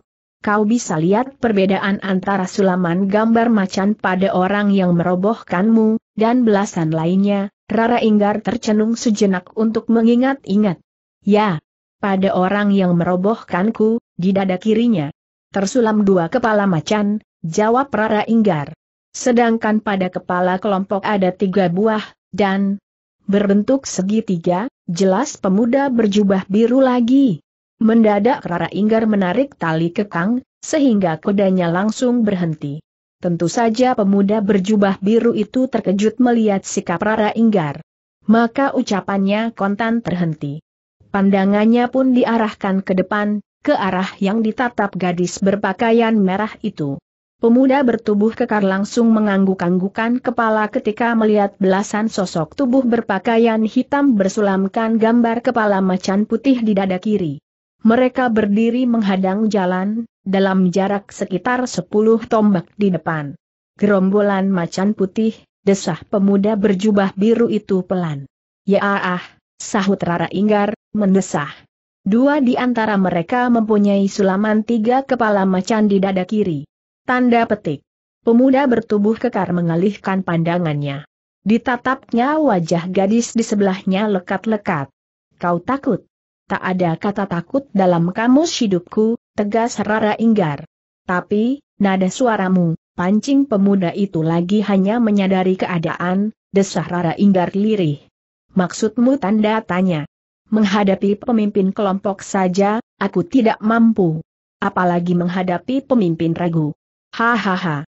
Pemuda bertubuh kekar itu menghembuskan napasnya yang berat, mendengar ucapan Rara Inggar. Kau coba dulu, Nisanak, saran pemuda berjubah biru itu. Sisanya, biar ku hadapi. Andai kata kulihat kau terdesak, baru akan ku bantu. Yang penting, kau harus tiba di tempat tinggal kedua paman gurumu. Rara Inggar menoleh. Ditatapnya wajah pemuda berjubah biru itu dengan sepasang mati merembang berkaca-kaca. Hatinya merasa terharu melihat pembelaan yang dilakukan pemuda di sebelahnya. Padahal mereka belum saling mengenal nama. Tidak disangka, di balik sikap dinginnya, tersembunyi hati yang baik. Perlahan-lahan Rara Inggar mengulurkan tangan, kemudian menggenggam pergelangan tangan pemuda bertubuh kekar itu. Terima kasih, kau, kau baik sekali. Tanda petik. Hanya itu yang bisa diucapkan Rara Inggar. Itu pun dengan suara serak dan terputus-putus karena rasa haru yang mencekik tenggorokan. Sudahlah, kata pemuda berjubah biru sambil mengulapkan tangannya. Hentikan segala kecengengan ini, Nisanak. Sekarang yang perlu dilakukan adalah menghadapi lawan yang telah berada di hadapan kita. Kepala Rara Inggar bagai direndam dalam air es pemuda berjubah biru itu benar. Sekarang memang bukan saatnya bersedih. Maka tanpa membuang-buang waktu lagi, ditariknya napas dalam-dalam dan dihembuskannya kuat-kuat untuk melegakan dadanya yang terasa sesak akibat rasa haru yang melanda. Hih! Ringan tanpa suara, kedua kaki Rara Inggar mendarat di tanah. Hal yang sama pun dilakukan pemuda bertubuh kekar. Hanya saja, Rara Inggar harus menambatkan kudanya, karena khawatir binatang itu lari. Sementara, pemuda berjubah biru sama sekali tidak melakukannya. NG. Sebelum mati aku ingin mengenal namamu, Kisanak. Aku, Rara Inggar. Biasa dipanggil Inggar, kata gadis berpakaian merah itu memperkenalkan diri. Pemuda berjubah biru menoleh ke arah Rara Inggar yang berdiri di sebelah kirinya. Rupanya kau termasuk orang yang berjiwa rapuh juga, nih, eh. Inggar, kata pemuda bertubuh kekar itu tanpa peduli kalau kata-katanya membuat selebar wajah gadis berambut dikuncir itu merah. Sebenarnya, aku paling tidak suka dengan kecengengan-kecengengan seperti ini. Aku sudah terbiasa hidup keras. Tapi, tak apalah. Namaku, Suta. Pemuda keparat maki jalatang. Rupanya, dia tak kuat lagi menahan sabar melihat Suta dan Rara Inggar masih tenang-tenang saja. Sebentar lagi kau akan mengenal orang-orang gerombolan macan putih. Menyingkir, Jalatang, perintah seorang laki-laki tinggi kurus. Menilik dari sikapnya yang berani memerintahkan Jalatang yang merupakan pemimpin kelompok, bisa diperkirakan kalau kedudukannya lebih tinggi. Hal ini dibuktikan oleh sulaman kepala macan berwarna putih. Jumlah sulamannya ada tiga buah, dan terdapat pada dada kiri pakaiannya yang berwarna hitam. Memang, laki-laki tinggi kurus itu adalah pemimpin regu. Jalatang tidak berani membantah. Dengan sikap lesu dan kepala tertunduk, kakinya melangkah mundur. Dibiarkan saja laki-laki tinggi kurus itu yang melangkah maju lebih dahulu. Saat itu, bukan dirinya yang menjadi pimpinan. Di situ, masih ada dua orang lagi yang mempunyai kedudukan lebih tinggi daripadanya. Jabatan mereka adalah pemimpin ragu. Mereka adalah laki-laki tinggi kurus yang tadi menyuruhnya menyingkir, dan laki-laki bertubuh pendek gemuk yang berdiri di sebelah laki-laki tinggi kurus. Tambahan lagi, keadaan diri Jalatang memang tidak memungkinkan untuk bertarung. Luka-luka yang dideritanya akibat tindakan Suta masih belum pulih, meskipun memang telah diobati. Kau hadapi orang yang bertubuh tinggi kurus itu, Inggar, kata Suta menganjurkan. Biar sisanya aku yang urus. Tanpa menunggu persetujuan Rara Inggar, Suta langsung melompat ke arah kerumunan gerombolan macan putih, sebelum mereka bergerak mengurung dan membuat rencananya kacau. Suta benar-benar memburu waktu. Selagi tubuhnya masih berada di udara, kedua tangannya diputar-putarkan dengan arah gerakan dari luar ke dalam. Memang sungguh dahsyat serangan Suta. Dari kedua tangannya yang berputaran itu keluar angin keras yang berhembus ke arah gerombolan macan putih. Gerombolan macan putih yang sama sekali tidak menduga hal itu, kontan menerima akibatnya. Tubuh-tubuh mereka berpentalan tak tentu arah ke belakang, bagaikan terlanda angin ribut. Hanya ada beberapa orang di antara mereka yang tak terjengkang, karena sempat mengerahkan tenaga dalam ke arah kaki sehingga seolah-olah berakar di bumi. Mereka adalah dua orang pemimpin regu dan seorang pemimpin kelompok, selain dari Jalatang. Karena, tubuh Jalatang sendiri terjengkang ke belakang. Meskipun ketiga orang pemimpin itu tidak ikut terjengkang, bukan berarti mereka bebas dari deru angin keras yang keluar dari putaran tangan Suta. Memang, mereka tidak jatuh, tapi tetap saja tubuhnya bergeser jauh ke belakang. Sedangkan kedua kaki mereka tetap menempel di tanah, sehingga menimbulkan geseran cukup dalam di tanah. Dan hasilnya, pimpinan kelompok terseret sejauh tiga tombak lebih, sedangkan kedua pimpinan regu hanya terhuyung sekitar dua tombak.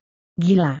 Pemuda keparat itu memiliki tenaga dalam luar biasa, Kakang Samparan, desis pimpinan kelompok itu begitu melihat kemampuan lawan, sehingga membuatnya kaget. Kita harus hati-hati menghadapinya, Karugi, sahut pimpinan regu yang bertubuh tinggi kurus. Bukan begitu, Bangor.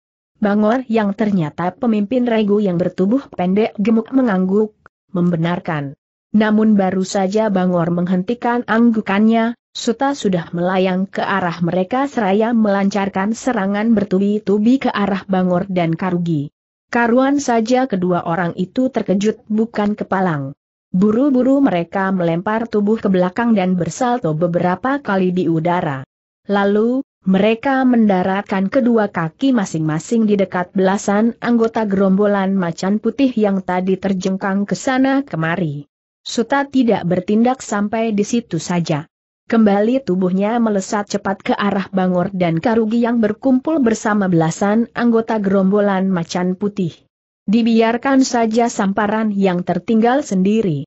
Suta memang sengaja membuat samparan terpisah dengan gerombolannya, agar Rara Inggar dapat tenang menghadapi laki-laki tinggi kurus itu. Sadar kalau Suta merupakan lawan yang amat tangguh, Bangor tidak segan-segan memerintahkan seluruh anak buahnya untuk turun tangan. Serbu-seru laki-laki pendek gemuk itu. SRRRT. SRRRT. Sinar-sinar terang berkedip dari tenjata golok gerombolan macan putih yang tercabut dari sarungnya. Sesaat kemudian, pertarungan sengit antara Suta melawan gerombolan macan putih di bawah pimpinan Bangor berlangsung sengit. Kau dengar suara itu, melati tanya seorang pemuda tampan berpakaian ungu. Kepalanya langsung menoleh ke arah gadis cantik berpakaian putih yang berada agak jauh di belakangnya. Gadis itu duduk di cabang sebuah pohon, dan punggungnya disandarkan pada batangnya. Kepala pemuda berpakaian ungu itu agak dimiringkan. Sehingga rambutnya yang panjang meriap dan berwarna putih keperakan, terurai menutupi bahunya. Gadis berpakaian putih yang tidak lain memang melati, dengan malas membuka matanya. Lalu kepalanya dimiringkan sebentar, baru kemudian mengangguk. Sepertinya suara denting senjata orang bertarung, Kang Arya. Arahnya dari sana, sahut Melati sambil menudingkan telunjuknya ke arah utara. Kau benar, Melati. Bagaimana kalau kita melihatnya sebentar usul pemuda berambut putih keperakan yang tak lain dari Arya Buana alias Dewa Arak. Ak ah ah. Kau ini ada-ada saja, Ken, rutuk gadis berpakaian putih itu. Waktu telah menjelang pagi. Apakah kau tidak mengantuk? Nanti saja kita lihat asal suara riuh itu. Tidakkah itu terlalu lambat, melati bantah Arya setengah membujuk. Bagaimana kalau di sana sebetulnya ada orang yang tengah membutuhkan pertolongan kita? Tapi aku ngantuk, Ken, ngantuk sekali. Jangankan untuk bertarung, mempertahankan agar mataku tetap terbuka saja sudah sulit. Dewa Arak tercenung sebentar. Kalau begitu, biar aku yang pergi saja ke sana, dan aku di sini, berteman nyamuk-nyamuk hutan? Begitu sambung melati merajuk. Kalau memang itu yang kau inginkan, goda Dewa Arak. Hahaha. Melati menghembuskan napas berat, lalu menjauhkan punggungnya dari batang pohon. Bagaimana tanya Arya lagi dengan senyum di bibir. Ingin berteman nyamuk di sini, atau ikut denganku melihat keramaian di sana? Kau memang paling pintar memutar balikan ucapan, Ken, kata gadis berpakaian putih itu. Mulutnya tampak memberengut kesal. Jadi Arya menggantung ucapannya. Yah, aku lebih suka berteman denganmu daripada berteman dengan nyamuk-nyamuk di sini, sahut melati bernada keluhan. Hahaha tawa pemuda berambut putih kiprakan. Itu meledak. Sudah kuduga. Kau memang keterlaluan, Ken, hanya itu ucapan yang bisa dikeluarkan melati. Dengan tawa pelan yang masih keluar dari mulutnya, Dewa Arak mengulurkan tangan ke arah guci yang tergantung di cabang pohon. Dibukanya ikatan tali di cabang pohon yang membuat gucinya tergantung, kemudian disampirkannya ke punggung. Hup, Ringan tanpa suara, kedua kaki pemuda berpakaian ungu itu mendarat di tanah. Pada saat yang sama Melati juga mendaratkan kakinya. Tanpa membuang-buang waktu lagi, Sepasang pendekar yang sama-sama dikdaya itu melesat cepat menuju ke arah asal suara denting senjata beradu yang terdengar. Ilmu meringankan tubuh Dewa Arak dan Melati memang telah mencapai tingkatan tinggi. Tidak heran ketika melesat, bentuk tubuh mereka tidak nampak lagi. Yang terlihat hanya sekelebatan bayangan ungu dan putih yang tidak jelas bentuknya. Berbeda dengan Melati yang mengerahkan seluruh ilmu meringankan tubuhnya. Dewa Arak hanya mengeluarkan sebagian saja.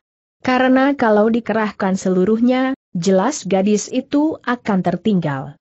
Sedangkan pemuda berambut putih keperakan itu tidak menginginkan hal itu terjadi. Semakin lama, denting senjata beradu itu terdengar semakin jelas. Tidak salah lagi, melati. Rupanya di sana tengah terjadi pertarungan, kata Arya sambil menudingkan jari telunjuknya ke arah semak-semak dan pepohonan yang berada tak jauh di hadapannya.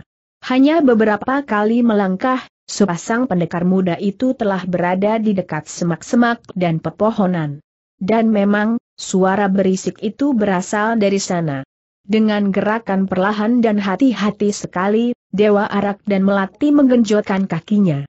Kontan tubuh mereka melayang ke atas, dan mendarat ringan laksana seekor burung di cabang pohon. Begitu telah berada di atas pohon, kedua orang itu langsung mengedarkan pandangan ke bawah. Dan dalam keremangan sinar rembulan di langit, tampaklah seorang pemuda berjubah biru tengah bertarung menghadapi belasan orang berpakaian hitam. Tak jauh dari tempat itu, nampak seorang gadis berpakaian merah dan seorang laki-laki tinggi kurus tengah memperhatikan jalannya pertarungan. Kurasa pemuda itu tidak memerlukan bantuan kita, Ken, kata Melati pelan, setelah memperhatikan pertarungan antara pemuda berjubah biru dengan belasan orang gerombolan macan putih. Kau benar, Melati, sahut Dewa Arak seraya menganggukkan kepala. Kau mengenai mereka, Kang tanya Melati lagi ingin tahu. Arya menggeleng. Makanya, jangan sembarangan turun tangan dulu, Melati.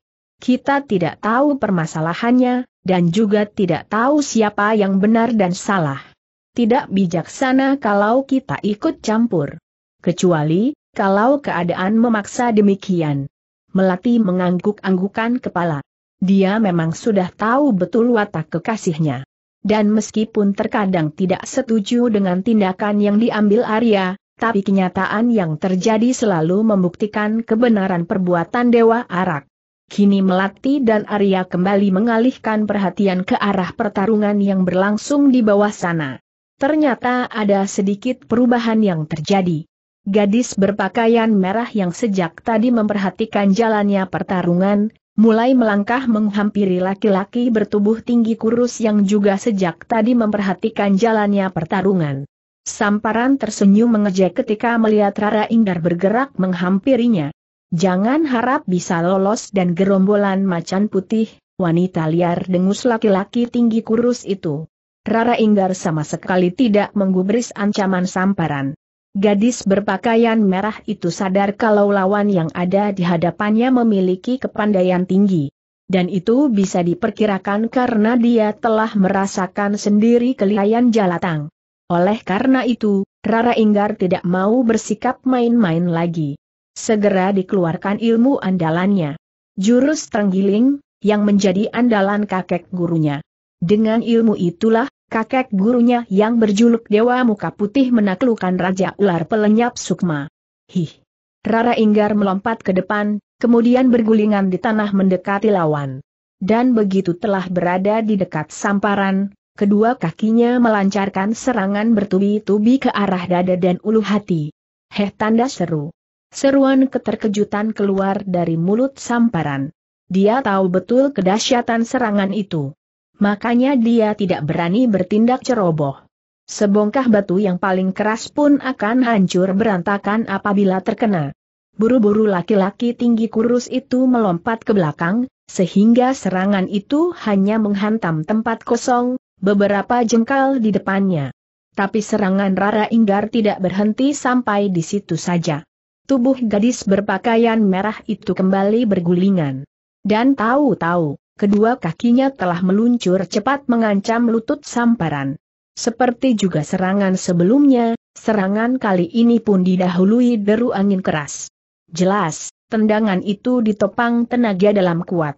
Kali ini Samparan tidak berani melakukan elakan seperti semula.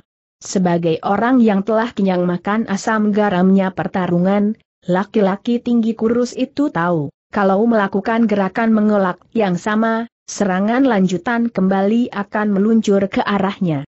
Dan hal itu tidak diinginkannya. Sambil mengeluarkan pekikan keras yang menyakitkan telinga, Samparan melompat ke depan. Dilewatinya tubuh Rara Inggar, lalu dari atas kedua tangannya disampokkan ke arah kepala lawan. Wut! Plak! Samparan kontan meringis.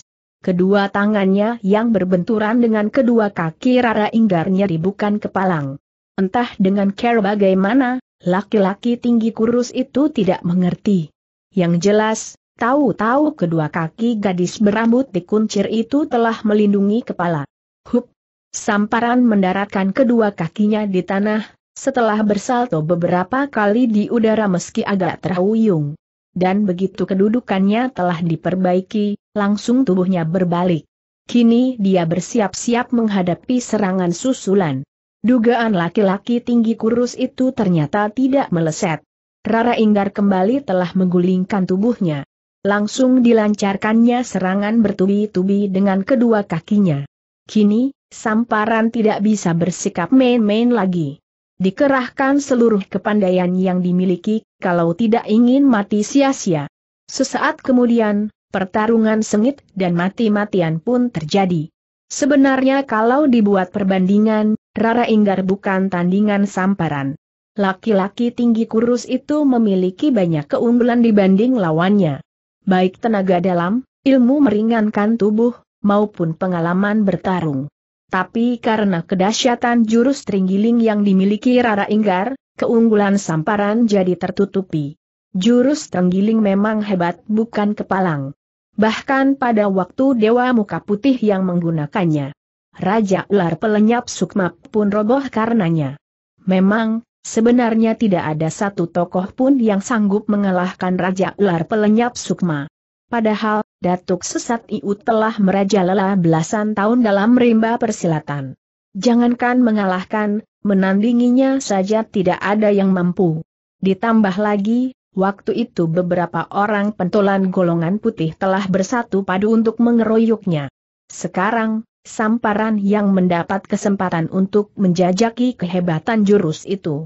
Dan memang, akibatnya laki-laki tinggi kurus itu kewalahan. Jurus tenggiling yang menitik beratkan pada kemampuan kaki, memang mempunyai kehebatan tersendiri. Setiap serangan dan pertahanan selalu dilakukan dengan kaki. Anehnya, ke mana pun serangan dilakukan lawan, selalu bertemu sepasang kaki. Dan anehnya lagi, dalam pengerahan jurus ini, tenaga dalam si pemakai jadi bertambah. Kedua kaki orang yang memiliki jurus ini akan sanggup menahan gempuran lawan bahkan mampu membuat tangan atau kaki orang yang memiliki tenaga dalam tinggi, akan menjadi terasa lumpuh bila berbenturan. Sayangnya, Rara Inggar hanya mempunyai beberapa jurus saja dari delapan jurus tenggiling. Bahkan jurus-jurus pamungkasnya pun tidak dimiliki. Itulah sebabnya, meskipun berhasil mendesak samparan, tetap saja tidak mampu merobohkannya. Samparan menggertakkan gigi, menahan geram. Pertarungan telah berlangsung hampir 20 jurus, tapi tetap saja lawannya tidak mampu dikalahkan. Jangankan mengalahkan, mendesak pun tidak mampu. Malah sebaliknya dirinya lah yang dibuat pontang-panting oleh Rara Inggar. Bukan hanya itu saja. Kedua tangan dan kaki samparan pun terasa nyeri bukan kepalang, akibat berbenturan dengan kedua kaki lawan. Kedudukan Rara Inggar memang menyulitkan samparan untuk melancarkan serangan. Perasaan marah, malu, dan penasaran bercampur aduk di hati laki-laki tinggi kurus ini.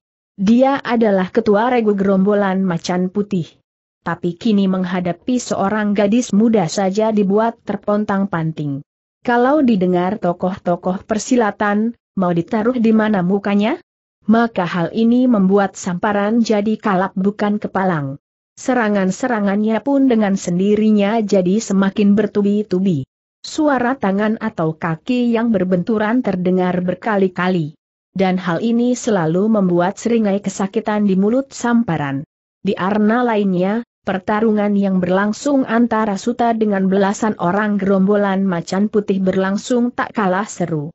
Sepak terjang pemuda berjubah biru ternyata luar biasa. Meskipun lawan yang dihadapinya banyak, namun dia tidak tampak terdesak. Bahkan tampak jelas kalau pertarungan benar-benar dikuasainya. Bangor dan Karugi merasa penasaran bukan main. Lebih-lebih Bangor. Memang, Jalatang telah menceritakan kelihayan pemuda berjubah biru itu. Namun sungguh di luar dugaan kalau akan sampai selihai ini. Setiap serangan yang dilancarkannya, selalu mudah dapat dipatahkan. Bahkan setiap kali berbenturan, tangan atau kakinya terasa sakit dan nyeri. Jelas, tenaga dalam lawan berada di atasnya.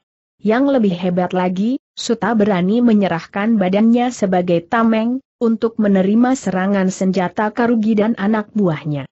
Dan hebatnya, pemuda berjubah biru itu sama sekali tidak terluka. Malah sebaliknya, senjata-senjata itulah yang terpental balik. Bahkan tangan yang menggenggam senjata pun terasa sakit bukan kepalang.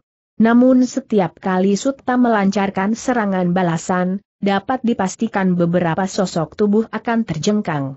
Hanya saja yang menjadi bahan pemikiran Bangor. Lawannya ternyata tak bermaksud menurunkan tangan kejam. Laki-laki bertubuh pendek gemuk ini pun yakin kalau lawan tidak bersungguh-sungguh menghadapinya. Hal ini bisa diketahui dari gerakan-gerakan sembarangan yang dilakukan Suta. Padahal, Bangor ingin mengetahui ilmu-ilmu yang dimiliki lawan.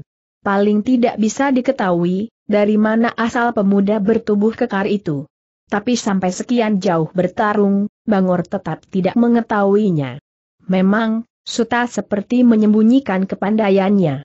Gerakan-gerakan mengelak atau menyerang pun, hanya yang umum saja. Pemuda berjubah biru belum mengeluarkan lembu khasnya. Meskipun Suta menghadapi lawan secara sembarangan, tetap saja Bangor tidak bisa memanfaatkan kesempatan itu. Karuan saja hal ini membuatnya penasaran bukan kepalang. Dan sebagai akibatnya, Serangan-serangan laki-laki pendek gemuk ini pun jadi semakin bertambah dahsyat. Pada akhirnya, Suta ternyata memenuhi janjinya terhadap Rara Inggar. Sambil bergerak mengelakkan serangan-serangan yang mengancam bagian-bagian berbahaya di tubuhnya, Suta menyempatkan diri untuk memperhatikan keadaan gadis berpakaian merah itu. Maka tidak aneh kalau Suta mengetahui keadaan Rara Inggar, sejak melancarkan desakan-desakan pada samparan. Di jurus-jurus awal, Rara Inggar berhasil membuat samparan pontang-panting. Tapi menginjak jurus ke-30, serangan-serangan yang dilancarkan gadis berpakaian merah mulai mengendur. Bahkan ketika pertarungan memasuki jurus ke-32, Rara Inggar lebih sering menangkis dan bertahan. Malah hampir tidak pernah melancarkan serangan lagi. Sebagai seorang yang telah kenyang bertarung, Samparan tentu saja tahu kelelahan yang dialami lawan. Dan itu bisa diketahui dari napas gadis itu yang menderu-deru. Memang itulah akibat yang harus ditanggung Rara Inggar. Jurus Tringgiling memang terlalu banyak membutuhkan pengerahan tenaga. Padahal, gadis itu memiliki tenaga dalam yang tidak begitu kuat. Dan dengan sendirinya, kekuatan yang dimilikinya pun terbatas. Keadaan yang dialami Rara Inggar dipergunakan samparan sebaik-baiknya. Laki-laki tinggi kurus itu pun melancarkan serangan bertubi-tubi. Dia tidak ingin memberikan kesempatan pada gadis berambut dikuncir itu untuk memulihkan diri. Kini ganti Rara Inggar yang terpontang-panting. Di awal-awal serangan samparan, gadis itu memang bisa mempergunakan sepasang kakinya untuk menangkis. Tapi karena menggunakan jurus tringgiling itu semakin membuatnya semakin lelah, Rara Inggar mulai mengelak. Tanpa menggunakan jurus tringgiling, tidak sulit bagi samparan untuk menghadapi Rara Inggar. Dalam beberapa gebrakan saja, gadis berambut dikuncir itu sudah dibuat terpontang-panting ke sana kemari. Bahkan hampir saja nyawanya melayang akibat cacaran serangan yang bertubi-tubi dilancarkan samparan. Untung di saat-saat terakhir, dia masih mampu menyelamatkan selembar nyawanya. Akhirnya saat yang ditunggu-tunggu samparan tiba. Kedua tangan Rara Inggar kini telah terpojok. Dan saat itulah kedua tangan laki-laki tinggi kurus itu meluncur cepat ke arah dada kiri gadis itu. Rara Inggar hanya bisa membelalakan sepasang mata menanti tibanya serangan. Jangankan untuk mengelak, menangkis pun sudah tidak sempat lagi. Dan pada saat yang tepat, Suta melesat ke arahnya. Cepat bukan main gerakan pemuda berjubah biru itu. Tahu-tahu. Plak, tubuh samparan terlempar ke belakang ketika tangan Suta menangkis serangan. Dan sebelum semua sempat berbuat sesuatu, pemuda bertubuh kekar itu telah menyambar tubuh Rara Inggar. Dan sekali kakinya bergerak melangkah, tubuhnya telah berada dalam jarak belasan tombak dari situ. Kejar teriak Bangor keras memberi perintah seraya. Bergerak mengejar diikuti Karugi dan belasan anak buahnya. Sementara Jalatang yang sejak tadi menonton jalannya pertarungan karena keadaannya yang tidak memungkinkan, segera melesat ke arah samparan yang terguling-guling di tanah. Samparan berusaha bangkit berdiri. Tapi, huaah, darah segera muncrat dari mulutnya. Jelas laki-laki bertubuh tinggi kurus itu terluka dalam. Bahkan sambungan siku tangannya terlepas, Saking kerasnya tenaga tangkisan yang diketuarkan Suta. Jalatang yang saat itu tengah membungkukkan tubuh dan menunduk, mengangkat kepalanya begitu mendengar adanya suara langkah-langkah kaki mendekat. Tampak Bangor, Karugi, dan belasan orang anggota gerombolan macan putih.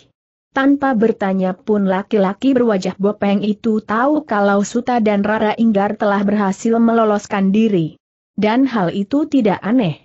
Karena, di samping ilmu meringankan tubuh pemuda berjubah biru itu memang tinggi, suasana malam yang gelap dan kerimbunan pohon, membuat Suta lebih cepat meloloskan diri. Dengan langkah lesu, rombongan gerombolan macan putih itu pun kembali meninggalkan tempat itu. Rekan-rekan mereka yang luka-luka harus terpaksa ditandung atau dipapah. Kurasa, ketua harus turun tangan kalau masih ingin melenyapkan gadis liar itu, kata Karugi pelan. Benar, sambut Bangor. Pemuda itu memang terlalu sakti untuk kita lawan. Hanya ketualah yang akan sanggup menaklukkannya. Meskipun ketua turun tangan, tapi aku masih ragu, Kang Bangor. Ilmu pemuda itu terlalu tinggi. Mungkin kalau ketua dan wakil ketua maju bersama, pemuda itu dapat dirobohkan. Bangor menatapi Karugi dengan sinar mata penuh teguran. Kau terlalu meremehkan ketua, Karugi. Kau tahu, semua ilmu Raja Ular Pelenyap Sukma sudah dikuasai ketua. Bahkan ketua masih mempunyai keunggulan, yaitu jurus macannya. Hanya satu yang belum dikuasainya, yakni ilmu pelenyap sukma. Karena, kitab dan seruling itu dirampas Dewa Muka Putih. Aku tahu, Kang Bangor. Itulah sebabnya, ketua menyuruh kita menyelidiki tempat tinggal kedua orang murid Dewa Muka Putih lainnya. Karena, kitab dan seruling itu ternyata tidak berada di perguruan hati naga. Tanda petik. Bangor tidak menanggapi ucapan itu. Sementara Karugi pun sadar kalau laki-laki pendek gemuk itu tidak mau memperpanjang pembicaraan. Maka, dia hanya terdiam. Dan kini mereka melanjutkan perjalanan tanpa berkata-kata lagi. Sama sekali gerombolan macan putih itu tidak mengetahui kalau sepeninggal mereka, dua sosok tubuh pun melesat turun dari atas pepohonan. Siapa lagi kalau bukan Dewa Arak dan Melati? Kalau saja, pemuda itu tidak cepat bertindak, mungkin aku telah keburu turun tangan, Kang Arya, kata Melati. Lebih baik kita memang tidak ikut campur dulu, Melati, sahut Arya, tenang. Mengapa, Kang tanya Melati, putri angkat Raja Bojong Gading. Karena kita tidak tahu masalahnya. Kita tidak tahu, siapa yang benar dan yang salah. Bukankah kita datang, pada saat mereka tengah bertarung? Tapi, Ken, aku yakin kalau sepasang muda-mudi itu berada di pihak yang benar, bantah Melati tak mau kalah. Siapa yang tidak kenal kekejian gerombolan macan putih? Gerombolan macan putih. Jadi, belasan orang berpakaian hitam itu adalah gerombolan macan putih? Dari mana kau mengetahuinya, Melati? Mudah saja, Ken, jawab gadis berpakaian putih itu, kalem. Arya mengernyitkan keningnya sebentar. Kau benar, Melati. Mereka adalah gerombolan macan putih. Gambar kepala seekor macan di dada kiri mereka itu pasti yang membuatmu mengenali mereka, bukan? Gadis berpakaian putih itu menganggukkan kepala sambil tersenyum manis. Lebih baik, kita susul sepasang muda-mudi itu, melati, ujar Dewa Arak mengalihkan perhatian aku yakin, gerombolan itu akan terus mengejar mereka. Kau benar, Ken, sambut gadis berambut panjang itu cepat lagi pula, tanganku sudah gatal-gatal, nih. Sudah lama aku tidak memukuli orang-orang jahat. Arya hanya tersenyum lebar mendengar ucapan kekasihnya. Dengan mulut masih menyunggingkan senyum, kakinya melangkah meninggalkan tempat itu. Melati yang tidak mau tertinggal, ikut melangkah pula. Luar biasa. Yang tampak hanyalah seleret bayangan ungu dan putih yang melesat, kemudian lenyap di telan kerimbunan pepohonan. 5. Hari sudah agak siang ketika sebuah perahu meluncur ke tengah danau. Di pulau itulah paman guruku tinggal, Suta, jelas Rara Inggar seraya menudingkan jari telunjuknya ke arah sebuah pulau yang tampak samar-samar di depan. Memang, gadis berpakaian merah itu akhirnya mengambil keputusan untuk mengajak Suta ke tempat tinggal paman gurunya. Rara Inggar ingin memperkenalkan orang yang telah berkali-kali menyelamatkan nyawanya pada kedua paman gurunya. Dapat dibayangkan, Betapa gembiranya hati Rara Inggar ketika Suta menyatakan kesanggupannya untuk ikut bersamanya. Itulah sebabnya, kini mereka berperahu berdua di tengah danau. Hektometer. Suta hanya menggumam saja. Tangan kanan pemuda itu tetap mengayuhkan dayung. Menilik dari luncuran perahu yang cepat, bisa diperkirakan kalau pemuda berjubah biru itu mengerahkan sebagian besar tenaga dalam pada kedua tangannya. Karena perahu itu meluncur cepat, dalam waktu sebentar saja pulau kecil yang dituju telah berada di depan mata. Hup! Suta melompat ketika perahunya telah mencapai tepi danau. Rara Inggar juga melompat menyusul. Dan begitu kedua kakinya telah mendarat di tanah, Suta segera menyeret perahu itu ke darat. Lalu, ditambatkannya perahu itu pada patok yang telah tersedia. Kau pernah kemari, Inggar tanya Suta setelah menyelesaikan pekerjaannya. Sudah dua kali aku kemari, jawab gadis berpakaian merah itu. Suta mengangguk-anggukan kepala. Mari, Suta, ajak Rara Inggar sambil bergerak mendahului menuju ke dalam pulau. Suta pun melangkah mengikuti di belakang. Semula dikira, mudah saja menemukan tempat tinggal kedua paman guru Rara Inggar setelah berada di pulau itu. Tapi ternyata tidak sesederhana itu. Ternyata, mereka berdua harus melewati kerimbunan semak-semak di sana-sini dan jalan berliku-liku. Itu pun memakan waktu yang agak lama, sebelum akhirnya tiba di sebuah tempat yang terlihat nyaman.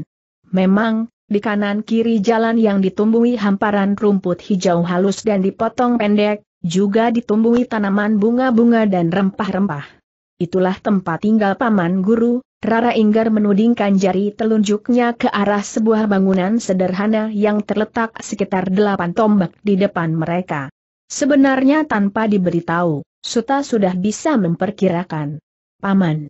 Paman Karundeng panggil Rara Inggar sambil berhambur ke arah seorang laki-laki setengah baya yang baru keluar dari dalam pondok.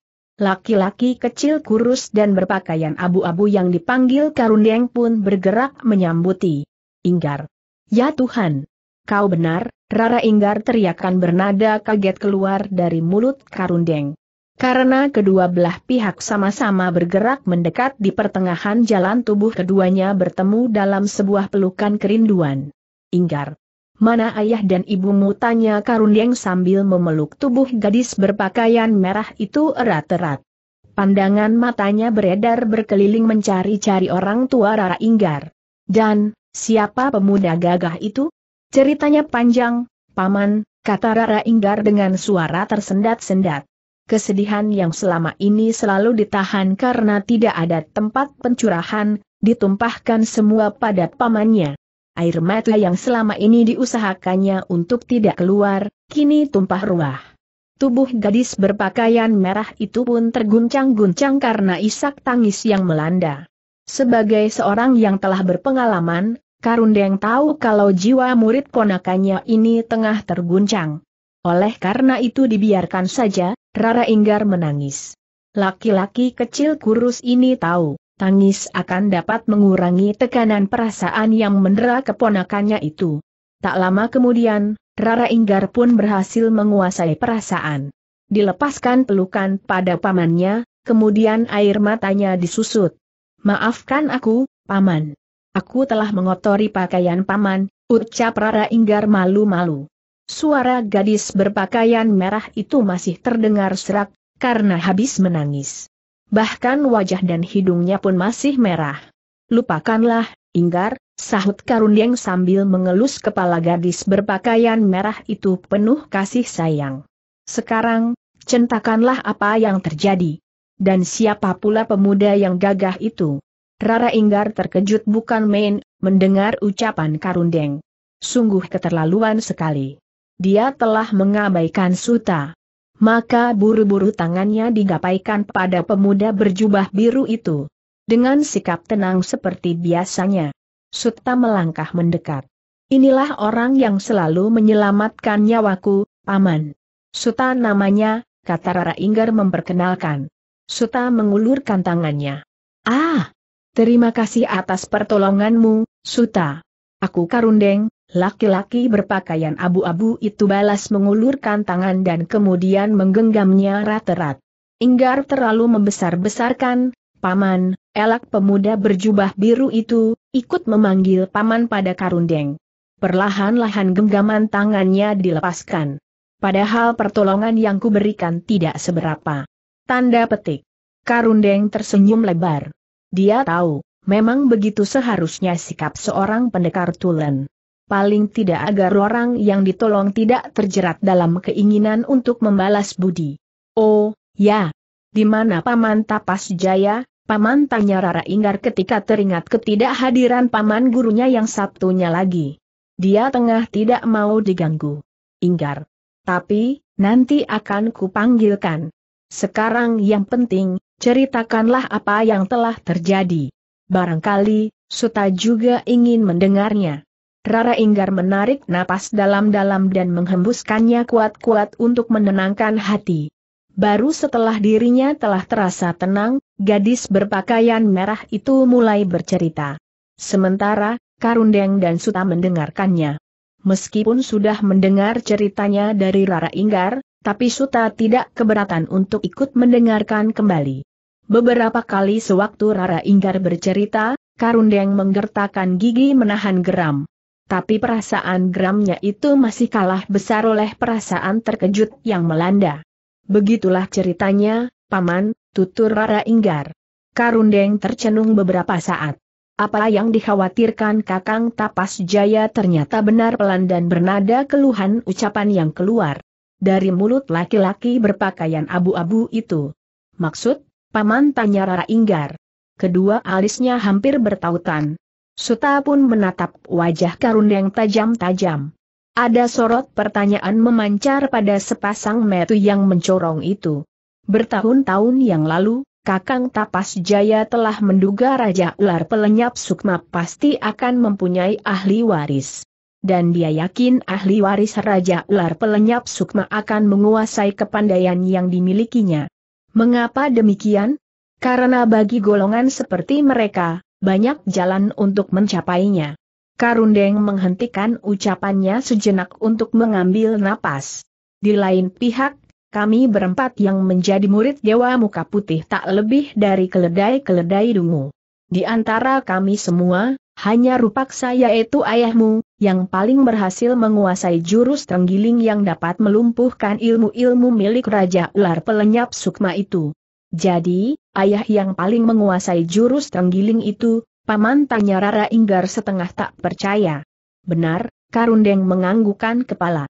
Dia berhasil menguasai 12 dari 18 jurus tenggiling. Itu pun tidak begitu sempurna dikuasainya. Dan menilik dari tewasnya ayahmu di tangan ahli waris Raja Ular Pelenyap Sukma, sudah bisa kuperkirakan kalau ahli waris itu telah mewarisi seluruh ilmu-ilmu yang dimiliki tokoh sesat yang menggiriskan itu. Hektometer. Lalu, suasana menjadi hening sejenak ketika Karundeng menghentikan ucapannya. Kini aku mengerti seru Rara Inggar tiba-tiba. Paman Tapas Jaya tengah berusaha menguasai jurus tenggiling. Bukan begitu. Dengan perasaan berat Karundeng menganggukkan kepala. Belasan tahun dia bergelut dengan jurus tenggiling tapi tetap hanya mampu mempelajari 13 jurus, ada nada keluhan dalam ucapan laki-laki kecil kurus itu. Mengapa begitu, Paman Rara Inggar mengajukan keheranannya. Jurus tenggiling bukan ilmu sembarangan, Rara Inggar. Justru jurus itu malah penuh bahayanya. Apalagi bila mempelajarinya tanpa pembimbing akibatnya akan sangat berbahaya. Bahkan pamanmu itu mengalami nasib seperti itu. Maksud, paman, Kakang Tapas Jaya selalu mengalami akibat yang tidak menyenangkan setiap kali melatih jurus ke-14. Tanda petik. Lanjut Karundeng setengah mengeluh. Ah Rara Inggar memetlek kaget. Satu-satunya orang yang berhasil mencapai jurus ke-17 adalah putra kakek gurumu tapi, sayang. Karundeng menghentikan ucapan. Raut wajahnya menyiratkan penyesalan yang amat hebat. Hahaha. Rara Inggar menghela napas berat. Tanpa laki-laki kecil kurus itu meneruskan, sudah bisa diperkirakan kelanjutannya. Memang gadis itu sudah mengetahui nasib yang menimpa putra kakek gurunya. Mengapa dia masih bisa dikalahkan Raja Ular Pelenyap Sukma? Paman, bukankah dia telah menguasai hampir seluruh rangkaian jurus dalam jurus ringling? Banyak hal yang menyebabkan putra kakek gurumu itu tewas di tangan Raja Ular Pelenyap Sukma, sahut Karundeng dengan wajah murung. Rupanya kenangan menyedihkan itu belum dapat dilupakannya. Terbukti kesedihan masih tergambar di wajahnya sekalipun peristiwa itu telah lama berlalu. Saat itu, dia masih sangat muda dan belum berpengalaman. Apalagi, untuk menghadapi seorang tokoh kawakan semacam Raja Ular Pelenyap Sukma, lanjut kakek kecil kurus itu memberi penjelasan. Kau tahu Inggar, Raja Ular Pelenyap Sukma tidak hanya menggunakan ilmu kepandaian yang wajar untuk menghadapi lawan, tapi juga menggunakan ilmu hitam. Itulah sebabnya dia mendapat julukan Pelenyap Sukma di samping julukan Raja Ular. Karundeng menghentikan ucapannya sejenak untuk mengambil napas.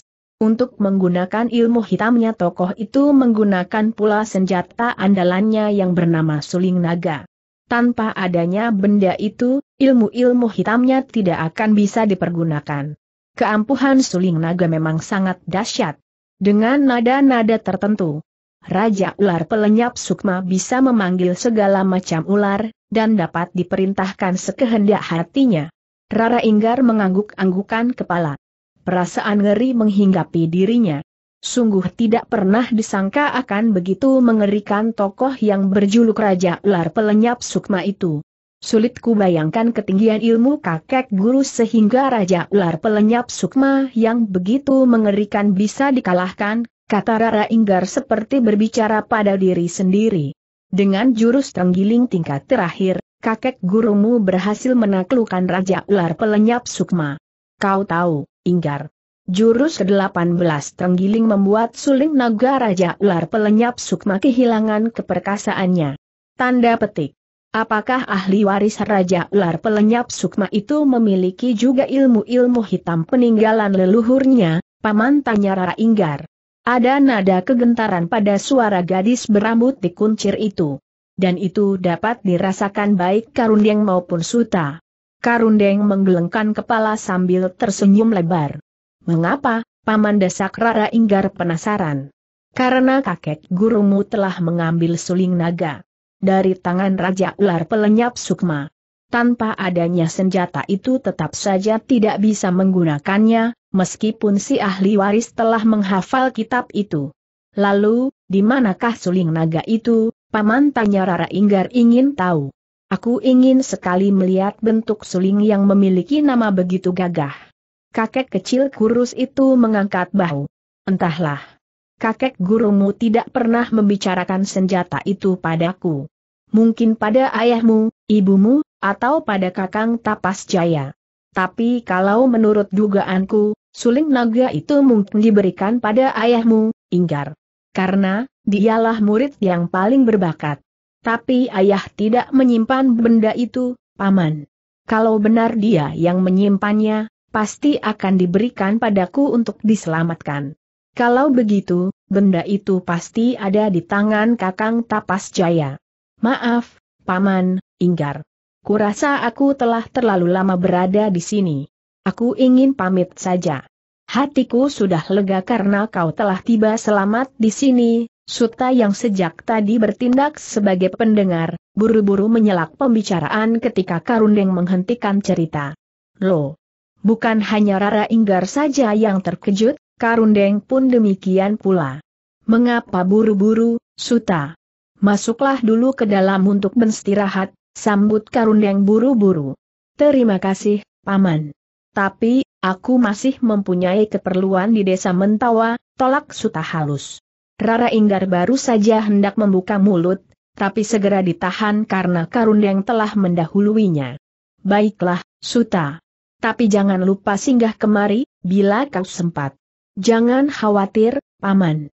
Sehabis menyelesaikan urusan di desa Mentawa, aku akan singgah kemari, janji Suta.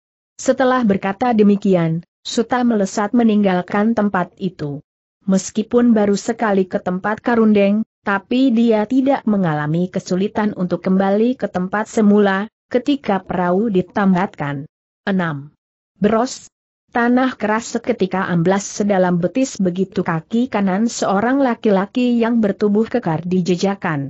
Menilik akibatnya, bisa diperkirakan kekuatan tenaga dalam pemilik kaki itu. Dia adalah seorang laki-laki dengan bentuk tubuh kekar berotot dadanya telanjang dan hanya mengenakan sehelai celana panjang berwarna putih.